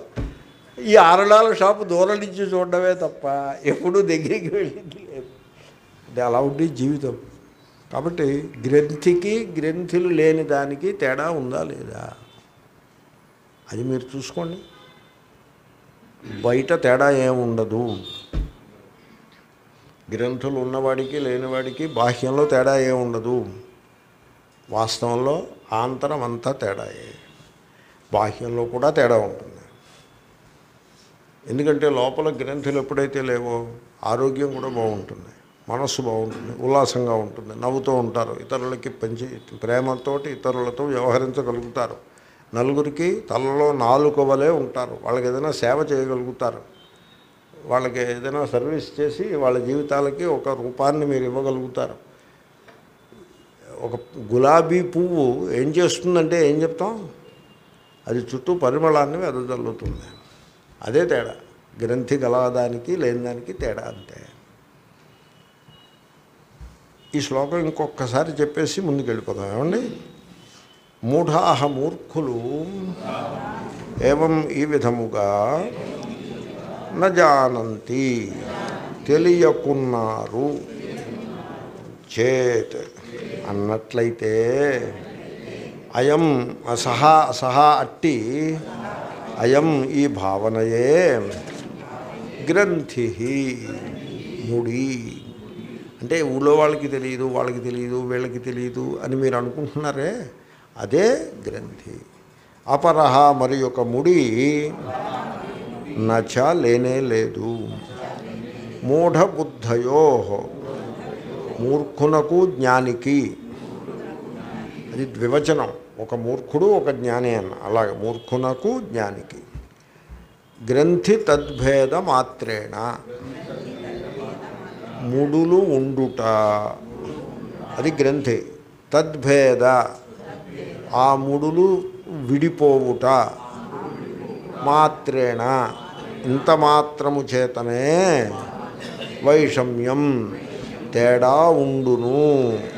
అంటే ఇంకా మిగతా తేడాలేమీ ఉండవు అనే అభిప్రాయం. మంచి శ్లోకము అనేసిద్దాము ఒకసారి. నైవం జానంతి మూఢాశ్చేత్. సోయం గ్రంథిర్న చాపర. గ్రంథి తద్భేదమాత్రేణ వైషమ్యం మూఢబుద్ధయో ప్రవృత్తౌ వా నివృత్తౌ వా దేహేంద్రియమనోధియాం నకించిదపి వైషమ్యం అస్త్యజ్ఞాన విబుద్ధయో ఏమన్నా ప్రవృత్తిలో కానీ అస్త్యజ్ఞాని విబుద్ధయో. బుద్ధయో ప్రవృత్తిలో కానీ నివృత్తిలో కానీ జ్ఞానికి అజ్ఞానికి తేడా ఏముండదండి ఏమంటే వర్షం వచ్చింది. గొడుగు జ్ఞాని దగ్గర ఉంది అజ్ఞాని దగ్గర ఉంది. ఎవరు గొడుగు వేసుకుంటారు? ఇద్దరు వేసుకుంటారు. రోడ్డు మీద నడుస్తుంటే కాళ్ళు కాలుతాయి. చెప్పులు అజ్ఞానికి ఉన్నాయి జ్ఞానికి ఉన్నాయి. ఎవళ్ళు చెప్పులతో నడుస్తారు? ఇద్దరు చెప్పులతో నడుస్తారు. ఒక పని చేయుట ఎందు కానీ ఒక పని మానివేయుట ఎందు కానీ జ్ఞానైనా అజ్ఞానైనా ఒక్కలాగే ఉంటారు. జ్ఞానికి అజ్ఞానికి తేడా ఏముండదు ఉండదు. భోజనం వడ్డిస్తారు. జ్ఞాని తింటాడు అజ్ఞాని తింటాడు. జ్ఞాని సంతోషంగా తింటాడు అజ్ఞాని ఏ ఏడుపు ముఖంతో తింటాడు. అంతే తేడా. భోజనంలో నాలుగు వడ్డించారనుకోండి రెండు బాగుండవు రెండు బాగుంటాయి. ఆ బాగున్న రెండు తినేసి ఎంత బాగుందో భోజనం అంటాడు జ్ఞాని. ఆ బాగులేని రెండింటిని గురించి పట్టించుకుని ఈ భోజనం బాగులేదని అజ్ఞానం అంటాడు. అంతే తేడా. అంతకంటే వేరే తేడా ఏం లేదు. మహాత్ములకు అజ్ఞానులకు ఇంతే తేడా. కాబట్టి బాహ్యంలో ఏదో తేడా ఉంటుంది అని మీరు అనుకోవద్దు. ఈ మాట ఎందుకు చెప్తున్నానంటే లోకంలో సమాజము జనులు చాలా మూర్ఖంగా ఉంటారు. మామూలుగా ఇప్పుడు ఎవరైనా స్వామి వచ్చారనుకోండి స్వామే తీసుకోండి. మామూలుగా చేత్తో సంచి పట్టుకుని నడిచి వచ్చిన వాడి మీద అసలు ఇంట్రెస్ట్ ఏమి ఉండదు. ఓ దండం పట్టుకుని ఆ, పాము కోళ్ళు వేసుకుని చెప్పులు పాదరక్షలు దేనికి? పాదరక్షలు దేనికండి?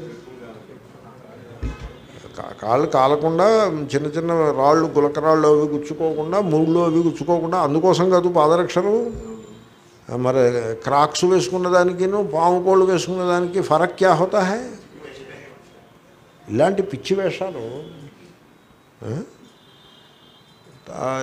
తర్వాత ముందు ఒక అరడదన మంది శిష్యులు వెనక అరడదన మంది శిష్యుల్ని పెట్టుకుని రాక్ స్టార్ వచ్చినట్టు వస్తే రాక్ స్టార్లు అలాగే వస్తారు. ఎప్పుడైనా ఇప్పుడు ఈ టెన్నిస్ ప్లేయర్స్ ఉంటారు. రోజర్ ఫెడరర్ విమానాశ్రయంలో దిగాడు అనుకోండి ఒక్కడూ రాడు బయటికి. ముందు వెనక కూడా ఆ విమానంలో అక్కడ వాళ్ళు ముందే వాళ్ళకి మెసేజెస్ వస్తాయి. ఆ ఎయిర్లైన్స్ వాళ్ళు ఎయిర్పోర్ట్ వాళ్ళు తర్వాత లోకల్ కమ్యూ సెక్యూరిటీ వాళ్ళు ముందు ముగ్గురు వెనకాల ముగ్గురు మధ్యలో నడిచొస్తాడు ఆయన. ఎప్పుడైనా చూసారా చూసారా సపోజ్ మన పెద్ద పెద్ద సినిమా యాక్టర్లు ఉంటారుగా వాళ్ళు విమానంలో దిగారనుకోండి మామూలుగా బయటికి నడిచొస్తారా ముందు వెనక మనుషులు ఉంటారు కదా ఆ విధంగా ఎవరైనా ఒక స్వామి పల్లకీలో కానీ లేకపోతే నడిచి కానీ పెద్ద ఆర్భాటంతో మంది మార్బలంతో వస్తే అబ్బో ఈయన చాలా గొప్ప స్వామి అని అనుకుంటారు జనం. మామూలుగా బుధ మీద కండువా వేసుకుని నడిచిపోతున్నాడు అనుకోండి వాడిని పట్టించుకోరు. జనం కూడా అలాగే ఉంటారు.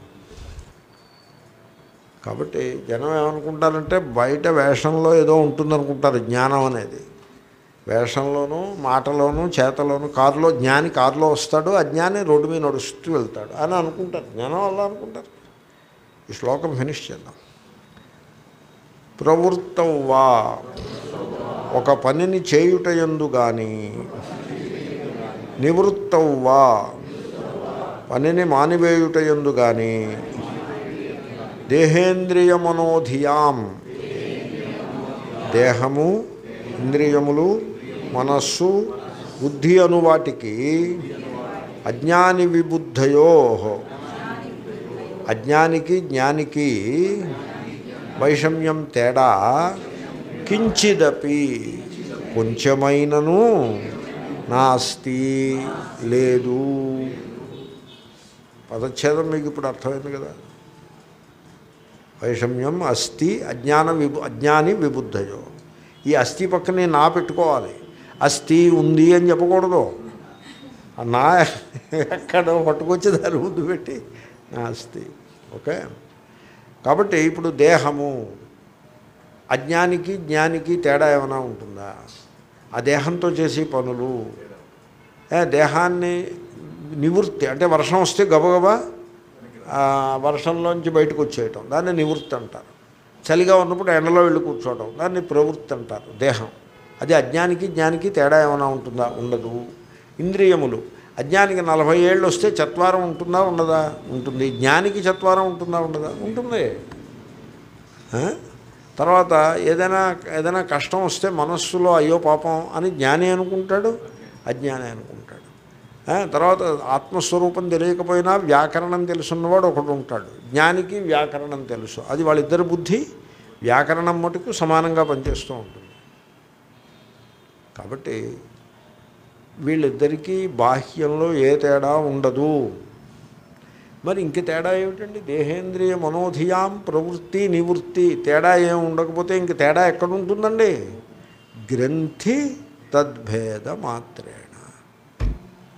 అంతే తేడా. ఆ ముడి ఉందా లేదా? ముడి ఉంటే సంసారి ముడి లేకపోతే అజ్ఞాని. ముడి లేకపోతే జ్ఞాని. ముడి అంటే ఏమిటో తెలుసునా అండి? పోల్చి చూసుకొనుట. దానిని బట్టి వచ్చే అసూయ పోటీతత్వము స్పర్ధ తృష్ణ ఉన్నదానితో సంతోషము లేకుండుట. కోరికలు యాంటిసిపేషన్స్ భవిష్యత్తు ఎలా ఉండాలి అలా ఉండాలి. రిలేషన్షిప్స్లో అపేక్షలు. ఎన్ని ఎనిమిది లెక్క వేశా. ఈ ఎనిమిది పట్టుకోండి ప్రస్తుతానికి. భయములు. Most important. తొమ్మిది. ఈ ఇవన్నీ కలిసి ఓసారి ఇది ఓసారి అది ఇవే ముడులు. ఈ ముడులు జ్ఞానికి ఉండవు. అజ్ఞానికి ఈ ముడులు అలా ఉంటూనే ఉంటాయి. ఓసారి ఈ ముడు పైకి బత్సలి తీగ. అజ్ఞానం అంటే బత్సలి తీగ. ఆ బత్సలి తీగకి ఎర్రటి గింజలు ఎన్ని ఉంటాయి? అలాగా గుట్టలు గుట్టలుగా ద్రాక్ష పళ్ళు గుత్తిలాగా ఉంటాయి. ఈ సంసారంలోకి ముడులు అలా ఉంటాయి. అంచేతనే సంసారంలో దుఃఖంతో ఉండిపోతారు. శ్లోకం అందాము. ప్రవృత్తౌవా వా నివృత్తౌ వా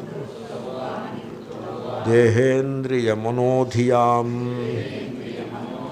నకించిదపి వైషమ్యం. అస్త్యజ్ఞాని విబుద్ధయో. ఈ ముడులు సరి చేసుకోమని మీరు సలహా చెప్తే పాటించరు ఇక్కడికి వెళ్ళి తీర్థయాత్ర చేసినామంటే గమ్మున పరిగెత్తుకు వస్తారు కాశీలో మకాం పెడితే ముడులు పోతాయా? పోతే పర్వాలేదు నేను సిద్ధమే. పోతాయా? శబరిమల వెళ్ళొచ్చేస్తే ముడులు పోతాయా? అంచేతనే ఏది అవసరమో అది చూడాలి. ఒక ఆయనకి జ్వరం వచ్చింది. దేవాలయానికి వెళ్తున్నాడు. జ్వరం వచ్చి దేవాలయానికి దేవుణ్ణి ప్రార్థన చాలు చాలేవా దేవాలయం ఎదుర్కొన్నానే ఫిజిషియన్ బోర్డు ఉంది అక్కడ. అక్కడికి వెళ్ళు అక్కడికి కాదు వెళ్ళడం. ఆయన దగ్గరికి ఆయన ఎక్కడికి వెళ్ళిపోడు అక్కడే ఉంటాడు. ముందు డాక్టర్ దగ్గరికి వెళ్ళి మందు వేసుకుని జ్వరం తగ్గిన తర్వాత దేవాలయానికి వెళ్ళొచ్చు అని నేనే చెప్పాను. జ్వరంతో పట్టుపంచి కట్టుకుని దేవాలయానికి వెళ్తే ఏమైనట్టు? పట్టుపంచి అక్కర్లా డాక్టర్ దగ్గరికి వెళ్తే సరిపడు ஓம் பூர்ணமத பூர்ணமிதம்.